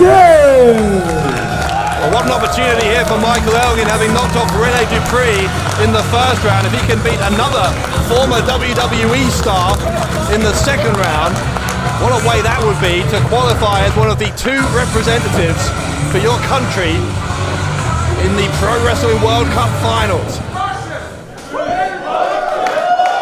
Elgin with a lot of support here in Toronto, where he is a hometown boy.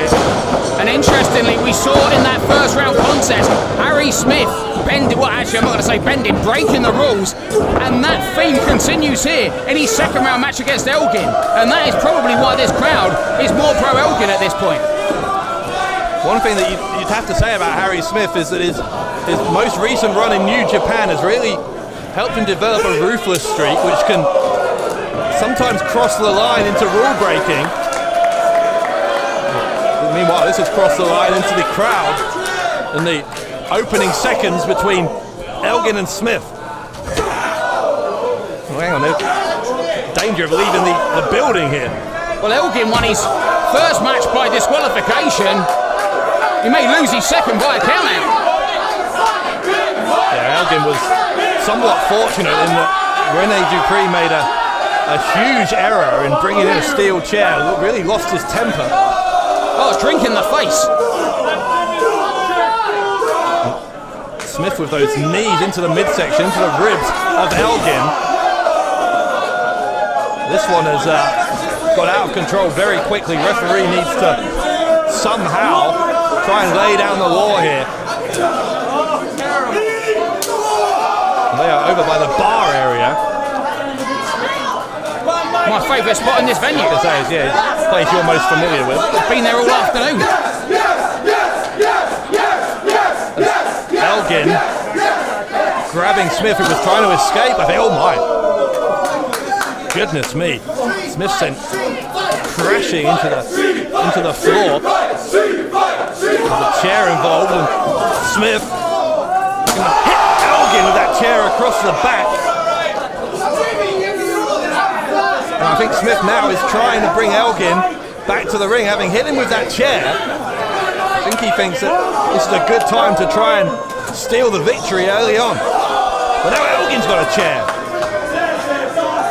Well, I know referee Jimmy Korderas got a, a little bit of, um, what's the word I want to say? Politically correctly, I'll say a little bit of a telling off from that DQ earlier because, you know, management in the back said nobody wants to see countouts, de- disqualifications, although I don't really think he had much choice when a chair was brought into play. And I think that's the reason he's letting this one go a little bit further in our second round. Well, to be fair, it has been uh, six of one and half a dozen of the other between these two since they've gone outside. That's the same number. I know. That's six, six and one, half a dozen, six. I know. And the point of the saying. Unless it's a baker's dozen, which is 13. So that's six and a half. But it's not. I didn't say it was. Never mind. I don't know why I ever try and use any kind of analogy when I'm sitting next to you. Just completely over your head. Smith, the left leg of Elgin. Ah, dragon screw leg whip of sorts. But with the guy standing standing up. Really twisted the uh, the ligaments there of Elgin.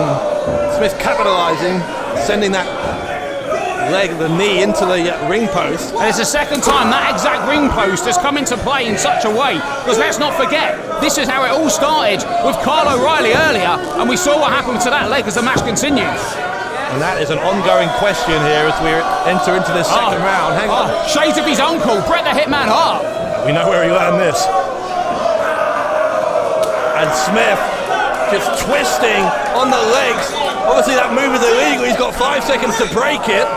But there's a lot of damage you can do in five seconds. Yeah, five seconds in that is like 20 seconds or more in a normal figure four leg lock. And 20 seconds in a figure four is a long time.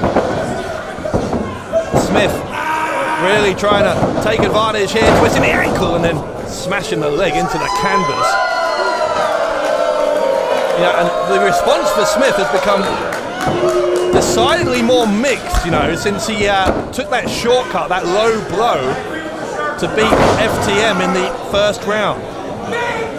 Part of that is perhaps that Elgin is a hometown boy and and uh, Smith is from Western Canada, but part of it, I think, is a reaction to how Smith behaved earlier.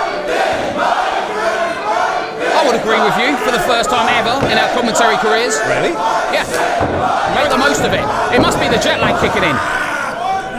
All that time you spent at the bar. Oh, it, that in between that and trying to wake up Gabriel Kidd and tell him why he's not out with the rest of us. and now we know why. Yeah, that was responsible of you. Right, he won, so he was right. Oh, so you were wrong? Well, I wouldn't say I was wrong. Oh no, of course just, not. Just had a difference in philosophies. He's won won him a match, and my one got me hammered. Well, Smith is hammering on uh, Elgin on all these different body parts right Nice, now. nice. See what you did there. Good segue, wasn't it? Thank you. He agreed with me and complimented me in the course of one minute. It's a career highlight. Smith trying to do more damage to that left ankle.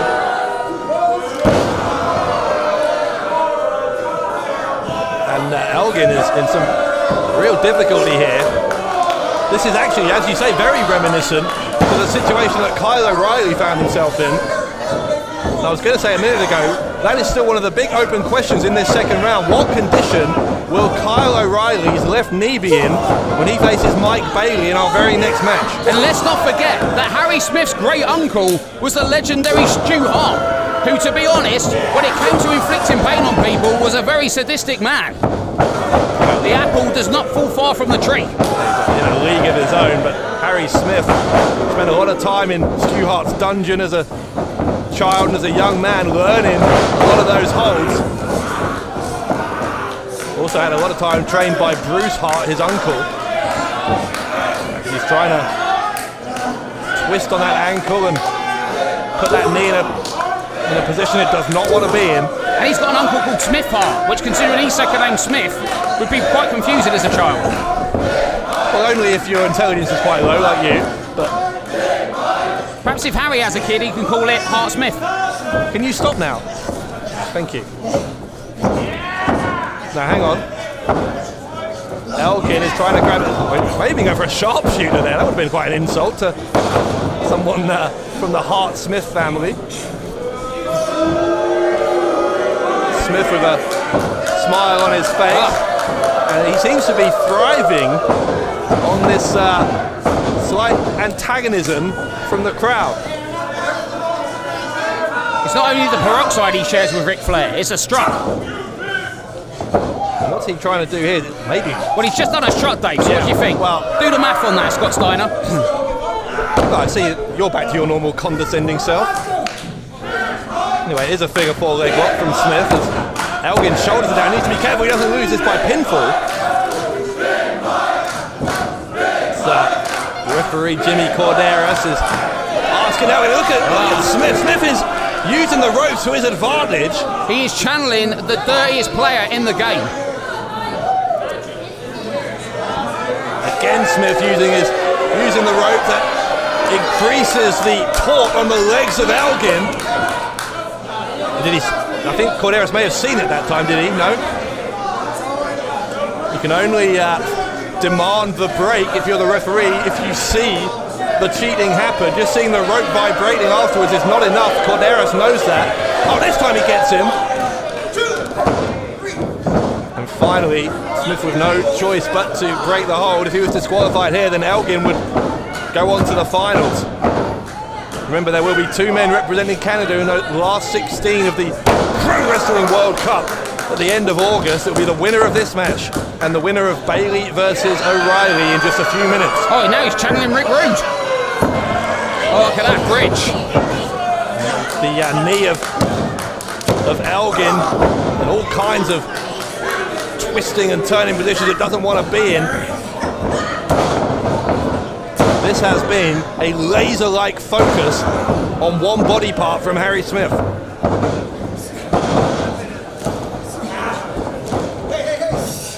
Elgin backed into the corner, and again it's Smith twisting the uh, the knee around the middle rope. Another one of those holds that's illegal because it uses the ropes to help, but five seconds is a long time to do some damage. Elgin finally moved out of the way of one. Smith hit his knee hard into the turnbuckle. There's a twisting forearm. Nearly knocked Smith senseless. It's probably the most high impact offense we've seen in this match from Elgin. That was like full force. This has been, yeah, 80% of this match has been Smith on offense. But there's an Enzuigiri from Elgin. Elgin trying for the German suplex and gets it. Right on the back of his head. Harry Smith was almost in a state of shock and awe as he went over, didn't manage to protect his head, and landed on it as hard as he could. Look, he's dazed and confused. Here comes Elgin trying to knock some uh, circulation back into his left leg. He clothesline Smith in the corner. And Smith oh, ah. drop kick to the knee. Smith knew exactly what he was doing there. Gonna try for the suplex. Yes. Oh, Falcon Arrow. Elgin cover on Smith, and oh, it was nearly enough. Left shoulder up. And Smith has found the tables have turned exceedingly quickly here in this second round match. And give credit where it's due, because even on one leg, he still had the strength to hoist up a man as big as Harry Smith. That was impressive. Look at this now, Elgin trying to fight through the pain that's definitely there on that left leg, but that's going to be very hard to hit a pile driver like that. Yeah, well, sharpshooter attempt from Smith. Elgin knew what was coming, goes straight to the ropes. And it was really limiting the offensive options available to Elgin, the fact that he doesn't have a lot of strength in that left leg, but another German suplex. So he hit him with so much force it dislodged his jockstrap. I mean, that's impressive. Elgin has Smith lined up. Go for a. I think Smith blocked. Cover.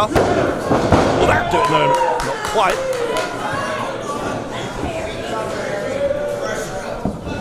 Smith still very much on top here after a slight comeback over the sharpshooter again. This time he gets it. Sharpshooter drags Elgin into the middle of the ring, and Elgin is going to have to. Uh, surely he's going to have to tap if he can't reach that bottom rope. Smith hasn't got it quite cinched down as hard as he could. That's allowing Elgin to get a little bit of movement. He's close to the ropes now, but is he close enough?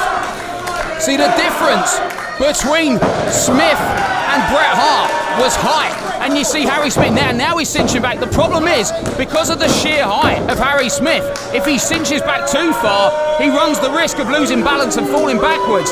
And that may have been the only thing that saved Elgin from managing to get to the ropes there. Smith and Elgin now find themselves on the ring apron. This is a dangerous place to be, particularly if Smith does what he's planning here. Be a pile driver on the hardest part of the ring, the corner of the ring apron. Well, don't do that. Smith is uh, being blocked here. Elgin using the ropes to hold himself down. This is not a safe place to be for either the wrestlers or the fans in the front row, frankly. Big boot into the face from Elgin. A super kick into the jaw. Smith dropping to the floor. And this is what Elgin has been waiting for the entire contest. To see Harry Smith in a vulnerable position. And he's got his wish. Look at this. Oh, what are we going to see here? Elgin taking a runner and a cannonball dive onto Harry Smith. Been a hard-hitting heavyweight contest here in the second round of the Canadian qualifiers. Only one of these two men, Michael Elgin or Harry Smith, can advance to represent their country in England in August in the finals. Will it be Elgin? It will be if he gets the win here. The leg is hurt and he gets two and three quarters. Elgin. Feels like the end may be near for Harry Smith, who is struggling to get himself back onto two feet.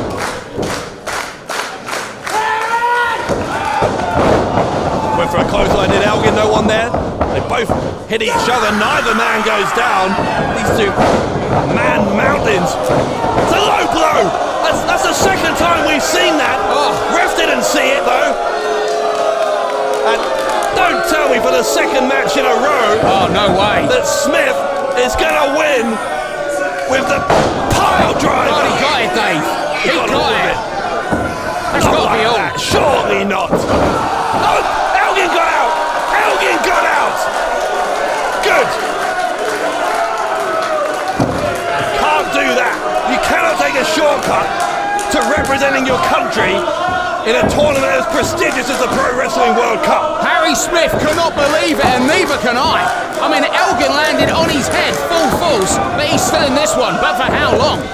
Sharpshooter really could end it. He's already been in this hole once, remember. Elgin was able to make the ropes that first time.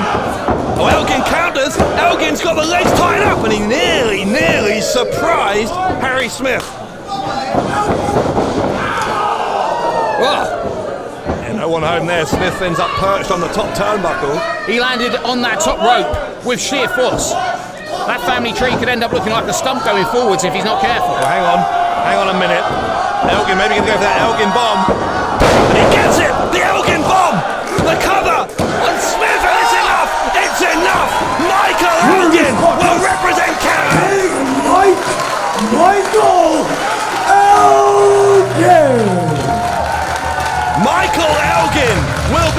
the two men who represents the Great White North in the finals of the Pro Wrestling World Cup this August after a titanic struggle against Harry Smith. Unbelievable contest and an unbelievable victory by Elgin. Man, that was a shocker, but he deserves that spot in the finals in England because that was outstanding. Well, Smith nearly stole a victory here in the second round like he did in the first round against FTM. Elgin somehow kicked out that pile driver and went on to win. Now he holds up that Canadian flag high as he will be going to the finals. But who will be joining him? Will it be Kyle O'Reilly or Mike Bailey? That's what we're going to find out next as these Canadian qualifiers reach their climax here in Toronto, Ontario, Canada. Hello, I'm your What Culture Pro Wrestling General Manager. WCPW has been around for a year. That is mental. Um, first of all, it's an honor to be the general manager at this point in time. Uh, WCPW, uh, we hope, has gone from strength to strength over the last 12 months. Uh, and we've decided to, to celebrate our one year birthday, uh, our anniversary. Uh, we're going to do a special Built to Destroy anniversary show on the 16th of June at one of our favorite venues, and a venue that was instrumental to us growing in our very early months, the O2 Academy in Newcastle. That's taking place on Friday, the 16th of June, one year and one day after our very first WCPW tapings. It's going to be a fantastic night. Not only will we have wrestlers who were wrestling on the very first WCPW show in attendance, we'll also have brand new stars as well. In terms of matches, there are some still to be finalised, but I can confirm that WCPW Tag Team Champions, the Swords of Essex, Will Ospreay and Scott Wainwright, will be defending their belts against the winners of the Tag Team Gauntlet number one contenders match at Fight Back on June the 2nd. Also, it gives me a great deal of pleasure to say that a wrestler who was so important to bringing publicity and eyes to our first WCPW tapings will be wrestling on that show. That man is the former Ring of Honor World Champion, Jay Lethal. There are many more matches for our anniversary show Built to Destroy to be announced. Check back on the YouTube channel for those. In the meantime, O2 Priority tickets are already on sale for this event, and the rest go on sale this Friday. Grab yours, it will sell out. I've been your What Culture Pro Wrestling General Manager. We did it! A year! We're still going. And I'll see you soon. Michael Elgin then into the finals of the Pro Wrestling World Cup for Canada, but who will join him? Kyle O'Reilly or Mike Bailey? Well, if any two men in the first round took more damage and still went through to the second round than Kyle O'Reilly and Mike Bailey, oh, well, I don't know who it is because there isn't anybody, Dave. This is uh, this is going to be very interesting. I'll, I'll be surprised if Mike Bailey can still come out here in one piece. That was an incredible showing. Well, Kyle O'Reilly, I'll be surprised if he can come out on two feet because that left leg was uh, absolutely decimated by Tyson Dux. Ladies and gentlemen, the following contest is a semi-final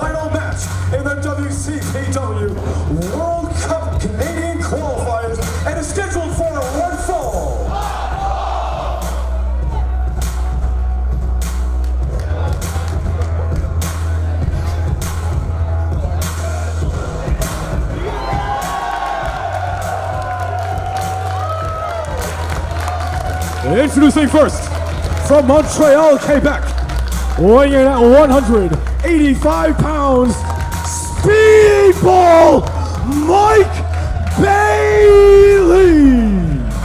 Mike Bailey beat Brent Banks in the uh, first round in a high flying thriller.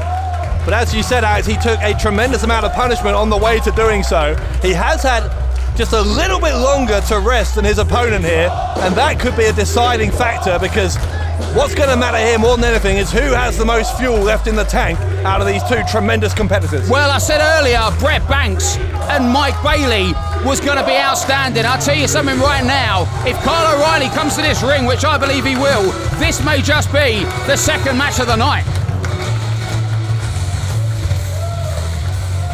Making them the matches of the night. That would make more I, I understood, yeah. And his opponent, from Vancouver, British Columbia, weighing in at 210 pounds, the violent artist, Kyle O'Reilly.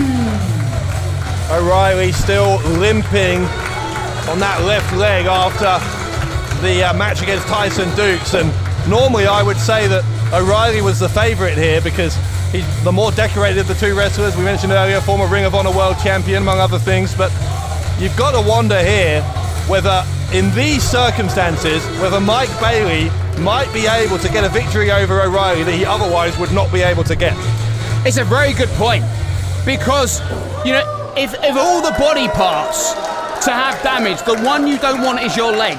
It's hard to mask it. I mean, you saw that on the way down to the ring. An injury anywhere else, I guess, from apart from maybe the ankle, you just you don't telegraph it to everybody. Everybody in this building knows the pain that Kyle O'Reilly is in. Most of all, unfortunately for O'Reilly, is his opponent, Mike Bailey. I mean, he's going to smell blood like a shark. And Bailey, I'm sure he is masking some uh, some pain after that first round, but he looks just on the face of it to be in much better condition than O'Reilly. So let's see what happens here. Fist bump of honour. One of these two men going to join Michael Elgin as the Canadian representatives in the finals of the Pro Wrestling World Cup in England this August. Roundhouse kick attempt there from Bailey and O'Reilly needs to just uh, play Matador here a little bit, not get suckered into anything too early. If you're O'Reilly, what can you do here, Alex, to protect that left leg? I was just thinking if Matador was Spanish for doormat. Um, I mean, I don't really. I'm not sure at this point. It's not just protecting the leg, it's protecting against the overall speed of Mike Bailey. I mean, this guy, she just moves so fast, it's like you need eyes all over your head to be able to keep an eye on him. He's got that martial arts background that's helped him so much in his career so far, Bailey. Look, feet of fury. You'd have to be a fly to be able to stay up to speed with where his kicks were going. O'Reilly is, is holding his own here to a point, but it's just a matter of time. You've got to think till uh, ah. till Bailey lands one on the left leg. And that was interesting there because Kyle O'Reilly has a very interesting stance. His head is always down, protecting his chin and neck. And right there, Mike Bailey had it well scouted, grabbed him in that front face lock. The other pressure is uh, that there's going to be on Kyle O'Reilly is because he leans forward with his stance. He's quite heavy with his. You know what I'm saying? He, he hunches over quite a bit with that fighter stance. That puts even more pressure on the knees. It takes the pressure of the stance off the hips and onto the knees. And of course, used to leading with his left leg in that stance, and that means that's uh, got a big target on it. It's put front and centre for Bailey. He hit one there, and O'Reilly instantly, after what wasn't too much of a hard shot, had to immediately retreat to the outside, which tells you just how bad the condition of that leg is. Well, you say it wasn't too much of a hard shot, but there's no way of really telling. If he hit it, you know, face on on the knee pad, that's somewhat protected. But if he hit it on the side, which it looked like he did, I mean, that's just going to send shockwaves all through the leg and up the body. But don't get me wrong, I wouldn't want to be kicked in the leg by Mike Bailey, even if I was my leg was in perfect condition. But that was uh, unfortunate because I was just going to volunteer to kick you in the head, see how it felt. I mean, I, I, it felt great for me. Please don't do that. Cover attempt by O'Reilly. And uh, he's got Bailey down on his back. O'Reilly is going to try. He's trying to leap over the legs to get into a pinning position. I think. Yeah, and interestingly, Mike Bailey is like trying to keep Kyle O'Reilly at bay. They're really trying to prevent him from getting close to him, like we saw in that first round contest.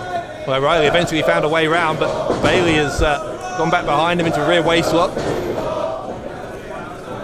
And uh, if this is on the mat, you know, then that takes away the disadvantage that O'Reilly had. That's a very good point. Oh my god, you keep making them. This is, this is strange. Have you been on, on my Red Bulls again? I had a whole case of them, they've all vanished. Well, Bailey is uh, back to his feet. Of course, I haven't stolen your Red I'm not a thief. They've gone somewhere. It's a case for Sherlock Holmes. I don't think it was Red Bulls that you were drinking at the bar earlier, so I know it wasn't you who drank them. Well, there was Red Bull in it, just balanced with vodka. In any case, we are back up to our feet now, and it's uh, O'Reilly and Bailey once more just testing each other out here. And look at this. Smart there by Kyle O'Reilly trying to defend against those kicks, but unfortunately he has to defend against them with his kneecap, and that's the part that's injured. Goes for the uh, bottom rope, and O'Reilly will have to make the break. Bailey is complaining to the referee about something here. I'm not sure what it is, but O'Reilly is having to sit down again just to take the pressure off his leg from standing up. O'Reilly here just hoping, I think, that adrenaline's going to carry him through this one, but I guarantee you he won't be able to walk on that left leg tomorrow. I guarantee you, the more that he keeps breaking the momentum, the, the less chance there is of having an adrenaline rush. It does the opposite. You're saying O'Reilly needs to keep the keep the pace fast. And now he is. Now he is. He picks him up, slams him down into that oh. MMA position, the ground, and pound. Exactly. Open hands, Dave, is nowhere near as effective as when you do it in MMA. Again, O'Reilly to the ropes. And this time, Bailey having a little rest in the opposite corner. Crowd completely absorbed by this, and it's a very different contest if you think about it to the one we just saw. They spent the first couple of minutes of. Uh, well, it's got different people in it. I know that, but it's also, you know, Smith and Elgin spent the first few minutes brawling in the crowd. This has been a uh, a technical battle here. And the headlock from Bailey. And I don't think if I'd have been offered the bet or the odds of it being Bailey who put the first headlock on in this match, uh, you know, I would I would have taken those. Thought I'd be flying back in a private jet. I'd have been wrong. I thought you were going to fly back in your helicopter. Anyway, Bailey still cinching down on that headlock. I think that's a mistake. So it's giving O'Reilly a chance to regroup, which is exactly what he's doing with those elbows to the back. Sends uh, Bailey to the ropes as O'Reilly. Oh. Leapfrog roll through from Bailey, who's right there and hits the left leg. Big, big target on that leg once again as the backflip lands on his feet. Does Bailey great agility? Oh, Dragon look at, screw. Look at that. And this is what Bailey wants to do. Keep the offense thick and fast. I mean, this just could be Bailey's night. Not only has he just already stolen the show, in my opinion, in his first round contest, but this could be the night he makes global headlines by beating Kyle O'Reilly. Because the history books won't show that O'Reilly was injured, they will just show who scored the win. As much as it's uh, unfortunate to see O'Reilly with an injury here, it's also worth saying that Bailey would fully deserve that spot after that incredible first round match against Brent Banks. Well, it's been a night of upsets so far, particularly what we saw earlier with Gabriel Kidd and Zack Sabre Jr. I mean, that's got to be considered an upset, even though Kidd is the champion. Yeah, I'm still, still picking my jaw up off the floor from that one, but. No, you've just got a big mouth. Thank you. Was that, uh, back to, again, back to your normal ways after a compliment. You can't do two compliments in a row, can you? Not with you. I could do it with my Shaneaholics, but not with you. With who? My, that's what I call my fans. Have you ever had any fans? I've got plenty of fans. Electric fans. That's hot in my house, yeah. exactly. Saw where that one was going. Anyway, O'Reilly again Just uh, really weak on that left knee as he's holding it. Bailey is sizing it up, just staring at that part of the body. O'Reilly trying to fight back with forearms. Oh, look at that speed of those kicks. My gosh. Relentless. Unstoppable. Incredible stuff from Mike Bailey. Gosh. He won't stop. Literally unstoppable and will not stop. Completely relentless from Mike Bailey until he finally grabs and slaps to O'Reilly. He's caught him here. Oh. There you go. Overhead belly to belly with a leg hooks. Yeah, and that, look at how uh, Bailey landed. He's holding the back of his head. Landed hard on that, on the back of the skull there, and O'Reilly thought he had him rattled enough to steal a three count. He got two.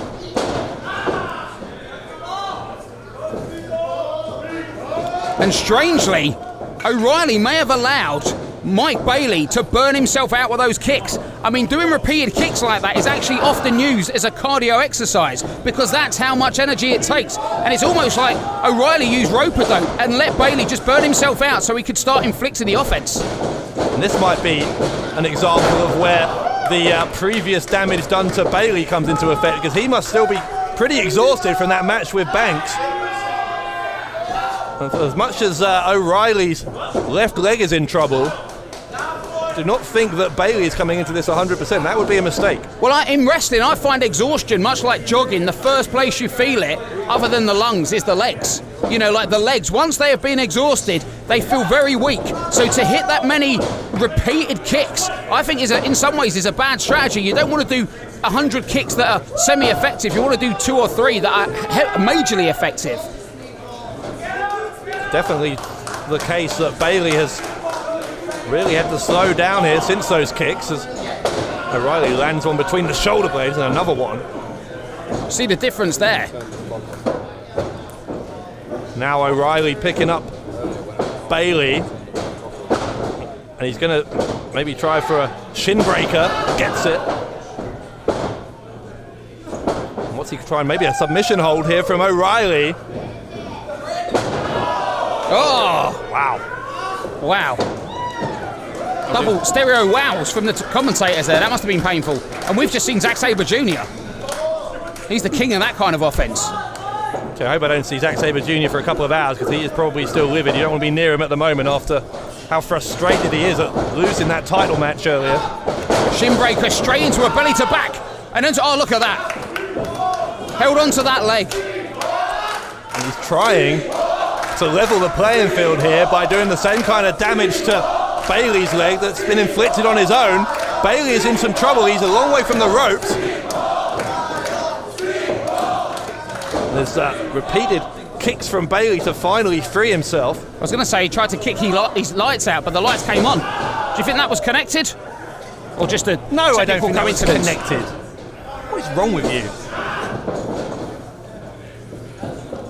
Bailey is uh, struggling again to get some uh, feeling back into that left leg. O'Reilly seems to be finding a second wind in, in his case. A Clubbing blow across the left shoulder. It's, what, it's like what you said earlier, Alex, as well. He doesn't really take his arms off his opponent. Always having some part of the body connected if he can is O'Reilly. Look, still again there. Oh. Finally ends it with arm first, smash into the canvas. And back to what you said there a second ago, the advantage of staying so fixed to his opponent was every time he went under with that wrist lock, the arm got more and more taut until it was only just a couple of fast steps that it was required to drive the shoulder of Bailey into that canvas at full force. There has been a distinct change in the weather of this match since those. It's, those it's inside, how can you tell that? It's a metaphor. Since uh, Bailey apparently wore himself out, and O'Reilly now look at this, almost getting cocky here. I met her four once. What? I went to Marvel Live. And you met her four? Yeah, Thor was there. Oh. Spider Man was there. On a different level tonight. Not a good one. Oh, there we go. Oh, cross Armageddon Armageddon. Armageddon, he calls it. I know that. Get it right. I was just saying what it was. Goes for the cover. Does uh, Bailey to try and break the hold. The only way that you get out. Oh! Moonsault into the double knee drop. Wow. Saw Bailey win his first round match with that shooting star knee drop on Banks. And uh, that has slowed down O'Reilly's momentum as well. So now both of these guys with a chance to regroup here. Referee is not starting a count. Going to allow these two to take the time they need to get back to their feet. A lot at stake here, the chance to represent your country in the first Pro Wrestling World Cup this August in England. Bailey to the corner, but O'Reilly follows him in. And O'Reilly now working through the pain. You can still see it there. But he's doing the best he can to absorb it. Ducks the kick, ducks a second, and is hit by a third. Wow. Cover. O'Reilly may be out. Bailey to go to the finals, and he's a, a half a second away. That roundhouse kick, one of the most devastating moves in Bailey's arsenal. Have I mentioned he's a ninja? He's not a ninja. He does taekwondo. Yeah, but still. I mean, yeah, but still. He moves like a ninja. All right, he's a ninja. Happy? Well, maybe going for that roundhouse kick, what we talked about. And he- oh, he was, but it got caught and countered Ah! into an STF by O'Reilly. Bailey fought to stop those arms and that chin being hooked, but look at this now. Brutal. Oh, brutal. Oh, wow. O'Reilly follows him in with that high knee. It's an arm breaker. Oh, no, not. No, it's not. It's countered. Countered into a sleeper hold. And they're in the middle of the ring. This is so fast, it's becoming impossible to call, but that wasn't. Full force, all impact, belly to back suplex. Takes Bailey out. And look how quickly O'Reilly did that before he lost enough power to do it. Only allowed himself to be in that sleeper hold for a half second. He went for the pin there and he nearly got it. Such was the impact of that side suplex. You know, sometimes in wrestling, people say, oh, a match between these two people won't be as good, but uh, as interesting because it's a clash of styles. But in this case, the difference in styles is creating what I would call a beautiful disaster. I wasn't expecting it in some ways, but in other ways, I thought it could happen. You know, look at Guerrero and Malenko, who I mentioned earlier. Very different styles, incredible opponents. And these two, wow, when they get going, they are something else. Yeah, compelling stuff here between O'Reilly and Bailey. O'Reilly, I think, is trying to lift Bailey up. Bailey finds a way out. There's that kick again. And Bailey unleashed that a lot of times. O'Reilly replying with the same thing. They are exchanging kicks here. And I would say that you've got to think Bailey would have the advantage here, but O'Reilly. I'm not so sure. Look at this. Yeah. God, this is brutal. Kick after kick after kick from Mike Bailey and Kyle O'Reilly, who takes away the leg. More damage done to the left leg of Mike Bailey. Oh, Back wow. Heel into the back of the skull of Bailey. And he does the same thing to O'Reilly. They're going hold for hold, strike for strike here. Where's the roundhouse kick? That's the roundhouse kick. Bailey, if he has enough energy to turn O'Reilly over and get the cover, could win it here. But he doesn't, Dave. He doesn't. Look, he is in the wrong part of town right here because he needs to be going towards the other part of the ring, not where he is, which is the ropes. Well, both men absolutely motionless for several seconds after they hit the mat. That's the problem with that roundhouse. It drives you into your opponent with such force, it actually sends you spinning out the other way away from him. We are surely reaching the business end of this one now because these guys, both of them, are operating on fumes alone. There cannot be any gas left in the tank. Bailey knows that. He's going to try and end it here. O'Reilly doesn't know where he is. Bailey with the roundhouse. And he'll go for the, maybe he'll go for the shooting star. Oh, oh, screw oh! Then he gets caught. He gets caught into the arm lock from O'Reilly. rolls through. What's he trying here? O'Reilly going to try and break the arm of Bailey. And his body weight's on top of him. Very hard for Bailey to move towards the ropes here. Using his left knee to strike the head of O'Reilly.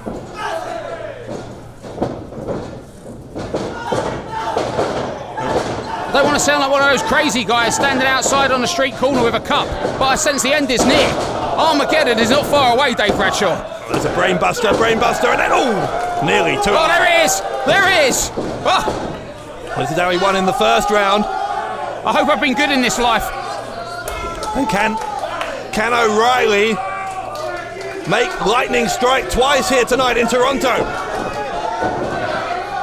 And he's twisted over into the ankle lock. Ankle lock by O'Reilly. Ankle lock. He's submitted the best in the business with this ankle lock. Will he do it here to Bailey?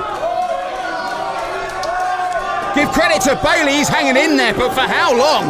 He's inching towards the ropes. He's Oh. pulled back in. Oh, that's it. I'm calling it.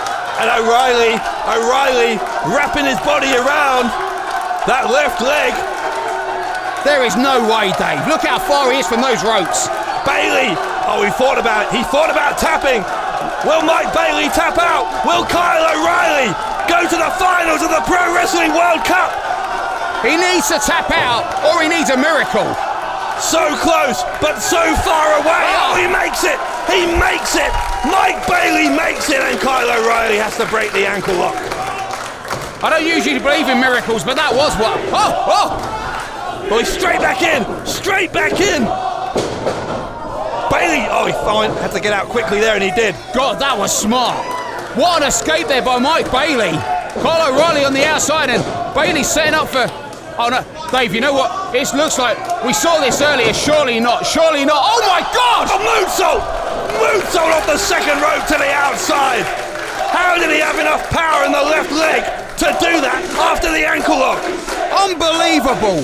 Absolutely unbelievable. It looked like the end was nigh for Bailey, but man, this kid is impressive. If you are any promoter anywhere in the world, you want to be booking this young man because he has an incredible future ahead of him. But right now, all he can focus on, all we can focus on, is will he make it through to the finals of the WCPW World Cup? And for UMSAT, this could go either way.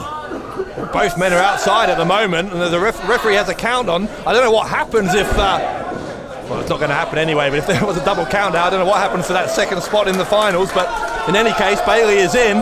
Bailey's on the second rope. We saw this earlier. Maybe he's going for the shooting star knee drop. He is, but there's no one there. Oh, and he landed all that impact and force on his own knees. And look at this. O'Reilly with a almost a shining wizard there to try and take down Bailey. Bailey went dead weight to try and avoid it, but unfortunately he had nowhere to go for that knee. Oh, look, he's using a knee of his own to escape. Falls onto the top rope. Yeah, he didn't escape quite as much as he wanted to because he's still in a very dangerous position here as O'Reilly is uh, going to come back for more here and try and finish this off. O'Reilly, if he can hit something big off this top rope, got to think that that's going to be all she wrote for Bailey. But Bailey finally finds a way out, kicks O'Reilly back to the mat, and now again, Bailey ascending to the top floor. What's he going for here? Oh, oh! O'Reilly kicked the leg away. I don't know whether he lured him in or whether that was desperation, but either way, it worked for O'Reilly. He's going to go for the superplex, gets countered by Bailey. Oh, force and impact on that knee, and Dave, surely not. He's going for it. If he hits this, this is oh my gosh! The shooting star knee drop by Mike Bailey, and Mike Bailey upsets Kyle O'Reilly to go to the World Cup Winner of this contest, Speedball Mike Bailey. We have seen some incredible action here in Toronto, but I'm going to tell you right now the man that I believe the industry will be talking about coming out of this show is the man who's just earned himself a place in the finals. The one, the only Mike Bailey. This guy is phenomenal. All the credit in the world to Kyle O'Reilly to put in such a tremendous effort given the injury he had to his left knee coming in here. But you're right, Mike, Bailey, Mike Bailey has just announced his arrival to the whole wrestling world. finals that takes The whole world August. knows his name now. Congratulations.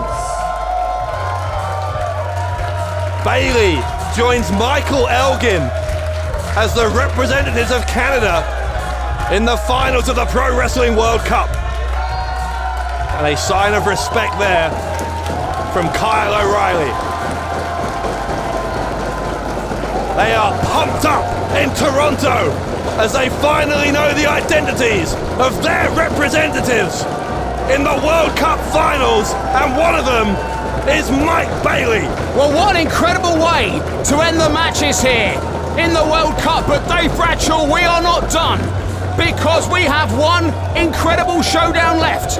El Ligero takes on the WCPW champion Joe Hendry in a non-title match, and it's coming up next. Yeah, Joe Hendry tomorrow will defend the title against Martin Kirby, but first he has to get past the Mexican sensation here in Toronto. Can he do it? Our main event coming up next here in the World Cup qualifiers.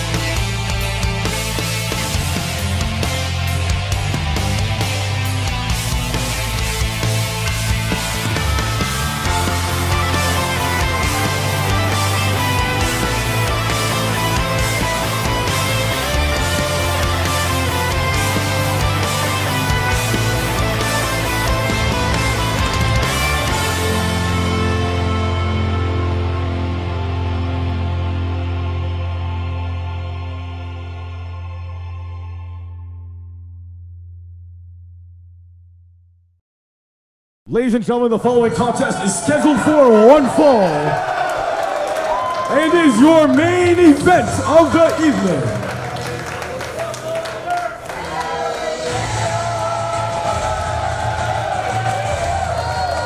Introducing first, from Los Sancho, Mexico, weighing in at 183 pounds, he was the first ever WCPW Internet Champion, the Mexican sensation, El Ligero.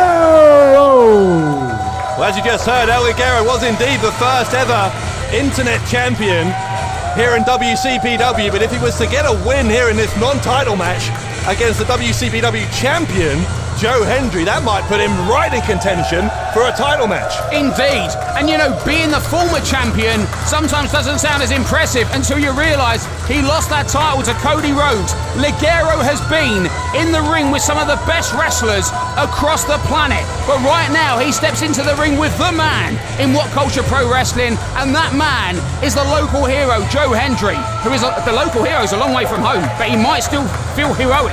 That's the level of confidence that that leader of the Prestige brings with him everywhere he goes now. Well, he's neither local nor a hero as far as I'm concerned. The, uh, the utter lack of compassion that Joe Hendry showed for Martin Kirby in winning that title was absolutely disgusting. One of the most disturbing things I've ever seen at ringside at a pro wrestling event. And was it me, or Ligero was in the top of his entrance pose, and suddenly Hendry's music cut straight in?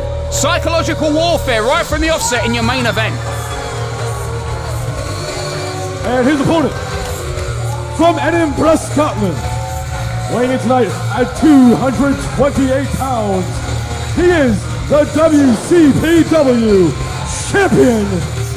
This is the prestigious one, Joe Hendry. Joe Hendry with that title belt over his shoulder, the thing he has craved more than any other prize in pro wrestling for the past year, and it has driven him to some places that I didn't think we would ever see Joe Hendry go to. Well, Dave, I've been saying from the beginning, I believe if Hendry harnesses that anger, that frustration, that disappointment, he could become a world beater. And unfortunately, it was at the hands of Martin Kirby, because you know I'm a big fan of, of the Curbmeister, right? But Joe Hendry has become everything that I thought he could become. I mean, this guy is, he reminds me a lot of The Rock. But look how Hendry's done it. Look how he's done it. He, he couldn't do it on his own, so he had to get a gang around him, the prestige. And now he won't shut up about it. In fact, he's got a microphone now, for goodness sake. Get on with the match. Doesn't matter if you win or lose, Dave Bradshaw, as long as you win. Bobby Heenan taught me that when I was a kid.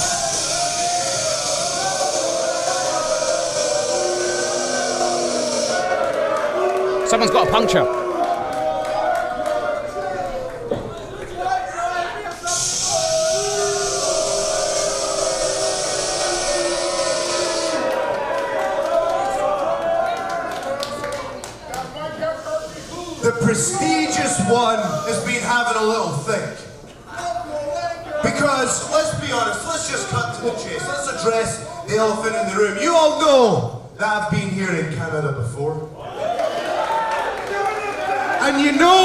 The prestigious one.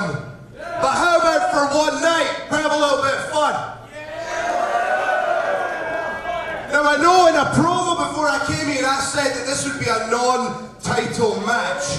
But I've heard the passion of the Canadian fans and I've made a decision about this belt tonight. What do you say, Oh. folks? What? Ah, no way.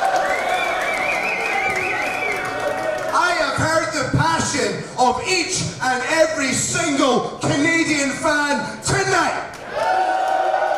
And I have decided that the WCPW Championship will never be defended in Canada. Charming. Isn't he a delight? It's a slow Let me tell you the reason. The reason is because you're some of the worst I've ever seen.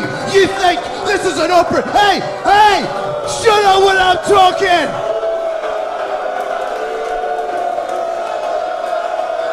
It's getting hot in here. That's what you call heat. Well, for these fans. You all think this is an opportunity for you to come out with your idiot friends and go 10, 10, 10, and too sweet. Like you think you run the show. Well, you don't. I run the show. Wow. Is channeling the spirit of every veteran ever to rip into current independent wrestling fans. You people might not understand, but I'm on a crusade to save professional wrestling. That brings me to you, El Ligero. If you're not getting a shot at this championship title, then do you really want to risk your health by going against the prestigious one? Because I consider that getting in my way because I've got big plans for this championship title. I'm on a crusade to make this the most prestigious championship in all of professional wrestling. And you're not getting a shot, so you're getting in my way. And you know what happens to people who get in my way. You know what happened to Martin Kirby when I smashed his skull off the canvas time and time and time again. He will never be the same. Oh, you're going to boast about that, are you?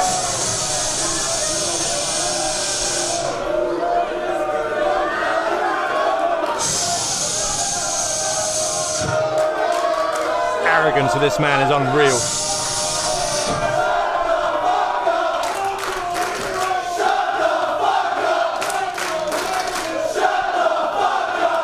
I concur.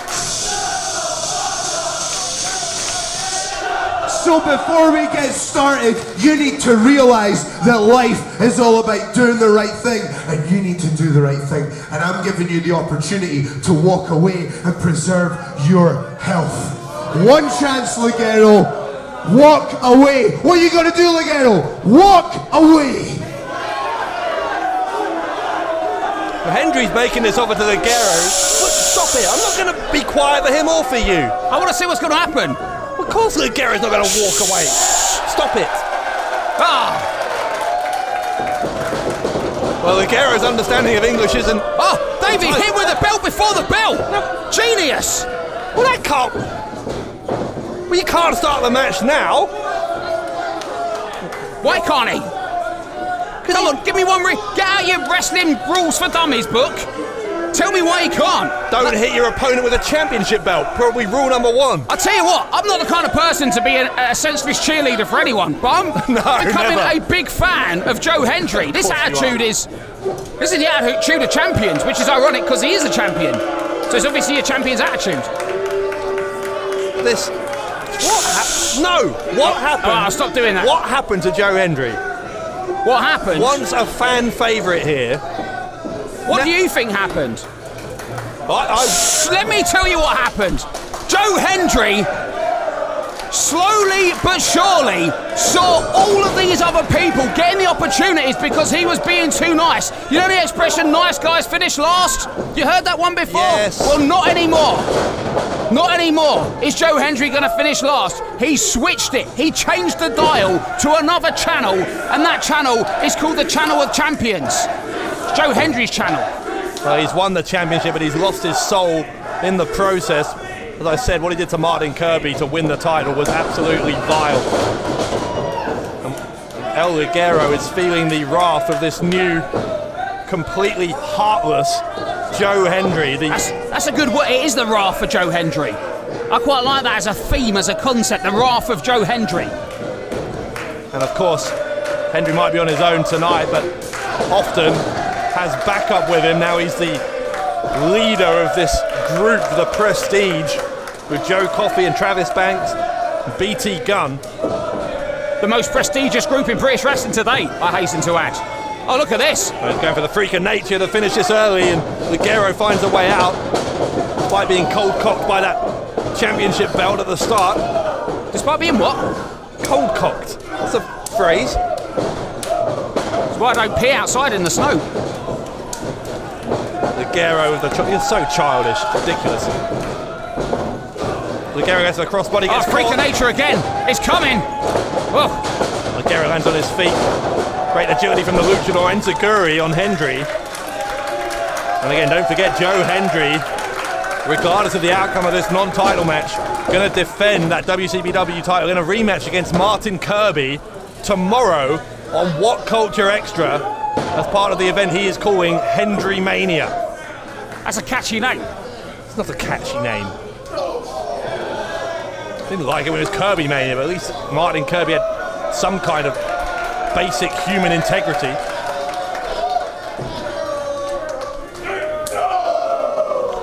And uh, Kirby is going to be very much a fan favourite, you've got to think, even though Hendry will be in his hometown of Edinburgh at Hendry Mania. As uh, Hendry takes this into the crowd, back to your favourite part of the building. Lots of other action as well coming up from Edinburgh tomorrow on What Culture Extra. Gabriel Kidd, fresh off his successful internet title defence against Zack Sabre Jr., defends against one of the hottest talents in Scotland, Kenny Oh. Williams. That's talk about insult to injury. He smashed him with a giant Kirby sign. Sorry, carry on. Thanks. I didn't realise I needed your permission, but I will anyway. I was just doing colour. I was giving colour. It was a black and white sign. El Ligero, by the way, for his part, is uh, also going to be part of Hendry Mania. He's taking on the massive Dave Mastiff. Is Joe Hendry going to be at Hendry Mania? I've just talked about that. Sorry, I was distracted by the sign. Several minutes. A forearm into the side of the head from El Ligero. And, oh, goodness me. Ligero into that bar, into the merchandise area. Oh, that's Joe Hendry's favourite part of the building. yeah, I'm sure he sells loads. Really popular guy, Joe Hendry. Joe Hendry's uh, stablemate in the Prestige, Joe Coffey, is going to face Rampage. at Hendry Mania. That's going to be a interesting showdown, to say the least, between two of the hardest hitters in the world. You know, it all really does ultimately come down to the fate of that WCPW title. As much as I've had my differences with Martin Kirby, I would like nothing more than to see Martin Kirby take that belt from Hendry in Edinburgh tomorrow. You're such a flip flopper. Look at this. Like, oh, cross body. Onto the. Oh, he's just bent that chair beyond recognition. It's a stall now. Ligero has, uh, with that crossbody on the chairs, taking a distinct advantage here over the WCPW champion. And Hendry is reeling.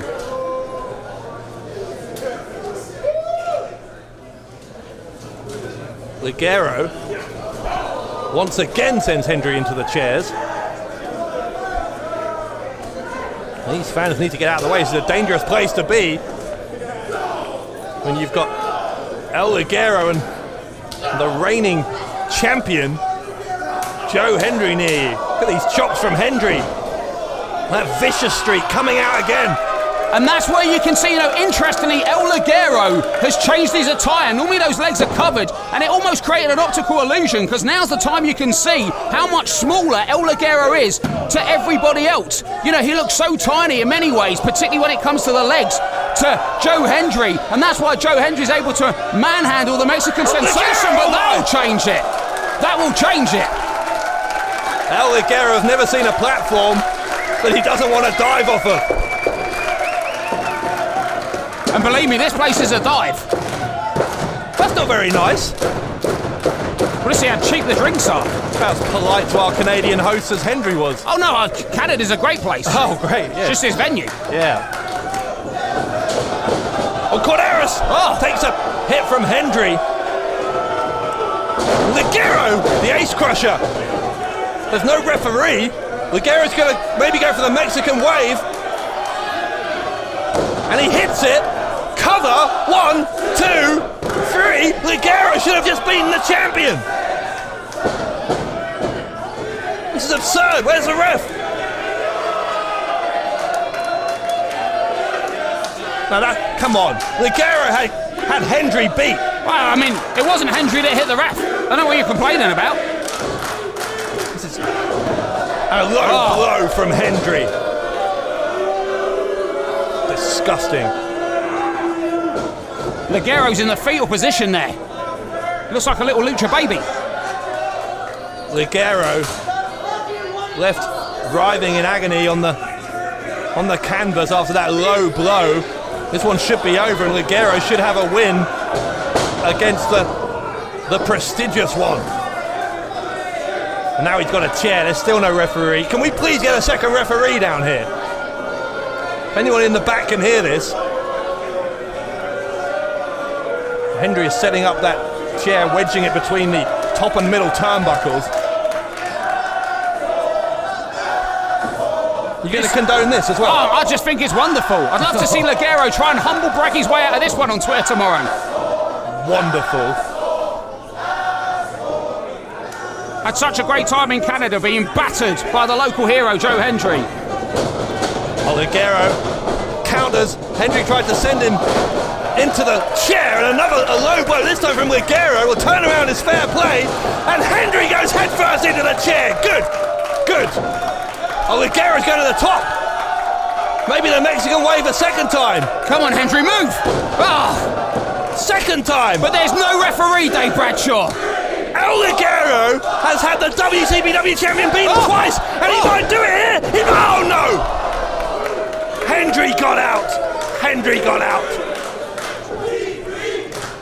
Ligero has had this one not once but twice. And if that referee had been a split second earlier, he would have had it won officially as well.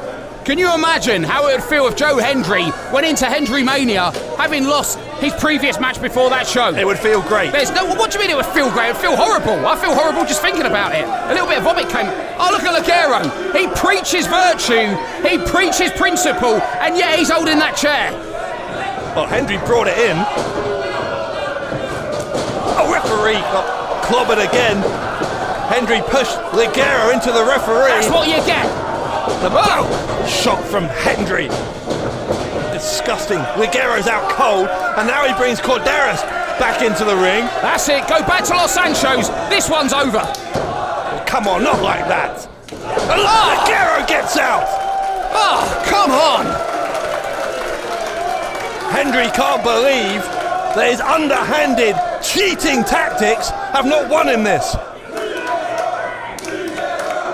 Ligero may have kicked out Dave Bradshaw, but the real question, which I'm pretty certain we're going to get an answer to shortly, is how much did that take out of the Mexican sensation? I would say everything he had left. He He's not moved. Yeah, he hasn't moved since, and and Hendry is now dragging him, basically like a, a, a dead weight here to the outside. Why is he taking him to the outside? He can't win the match out there. He really hasn't moved. What's he doing? What is Hendry doing?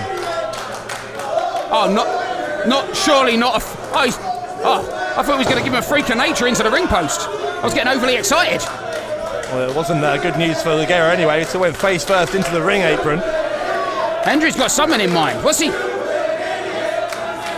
Oh, he set up some chairs. No, come on. Well, Ligero hit that Ah. crossbody through the chairs earlier, but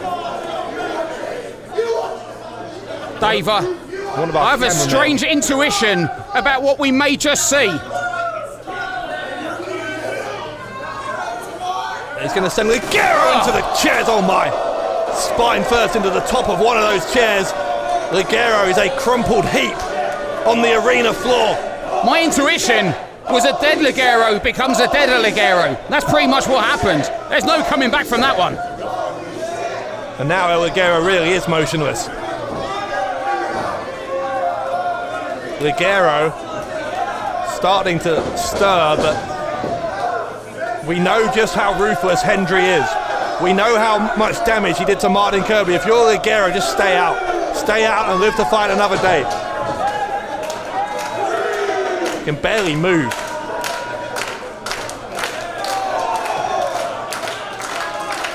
El Ligero, like a wounded animal, trying to make his way back to the ring. Referee's already up to a count of six. There was four seconds left for El Ligero to try and make it back. We'll give credit where it's due. The Mexican sensation has got some heart and some fight left in him. But will it be enough to continue this match, let alone get back in the ring? He's a, a second away and he makes it. Ligero made it. Oh. He gives the middle finger to Hendry as well. Good for you, El. Not the best sign language he could have used in this predicament because he's going for the freak of nature and Ligero. Oh, oh, counter, oh. counter from Ligero oh. to beat Hendry, and he was nearly did, but there was a, a, a half second short. Oh, C4L. He get out. oh, He got caught. He got caught. Ligero got caught by Hendry. Who rolled through into a sunset flip. Hendry will grab the now, and he's got the ah. the Hendry lock. The Look Hendry at that. Look at that, Dave Bradshaw. Look at the champ. Dominant. In command. I mean, Ligero, Ligero's oh. ankle is being twisted. Almost to a right angle. Look at it. to a right angle, as in a Kurt angle. Well, we all know who invented this move, no matter what Joe Hendry will tell you. But Ligero, Ligero is gonna. He's trying to reach the ropes, but Hendry is cinching down on what he calls that Hendry lock. This crowd firmly behind the challenger. And Ligero is just about at the ropes. Ah. Oh no, he's not. Oh, that'll be interesting refereeing there. Well, should, have, should be a break, surely. Surely there should be a break. He touched the ropes. Ah. Ligero taps out. I told you. Disgusting. Winner of this contest, the prestigious one, Joe Hendry. Well, Hendry gets his victory. I'm sure he's very happy with himself, but Don't say it so solemnly. The champ has proven why he has the gold right here in Canada. This is the point where you should say Joe Hendry deserves the championship. And going into Hendry Mania, the entire WCPW roster should be on notice because the local hero has never, and I mean ever, looked better. That's how you do it. hang on a second. No, you've got your win. Perhaps he wants to shake his hand course he doesn't. Ligero being put in the corner here by Hendry. did referee, get in there. Referee. This is what he did to Kirby. Oh, oh it's Kirby. Here, here comes Kirby. Martin Kirby comes to the rescue of El Ligero. And Hendry is running away like the coward that he is. Well, if Martin Kirby is the man standing tall in Edinburgh at the end of his title match with Joe Hendry, we may have a new WCPW champion. Martin Kirby is in hot pursuit of the champion as we head to Edinburgh and Hendry Mania.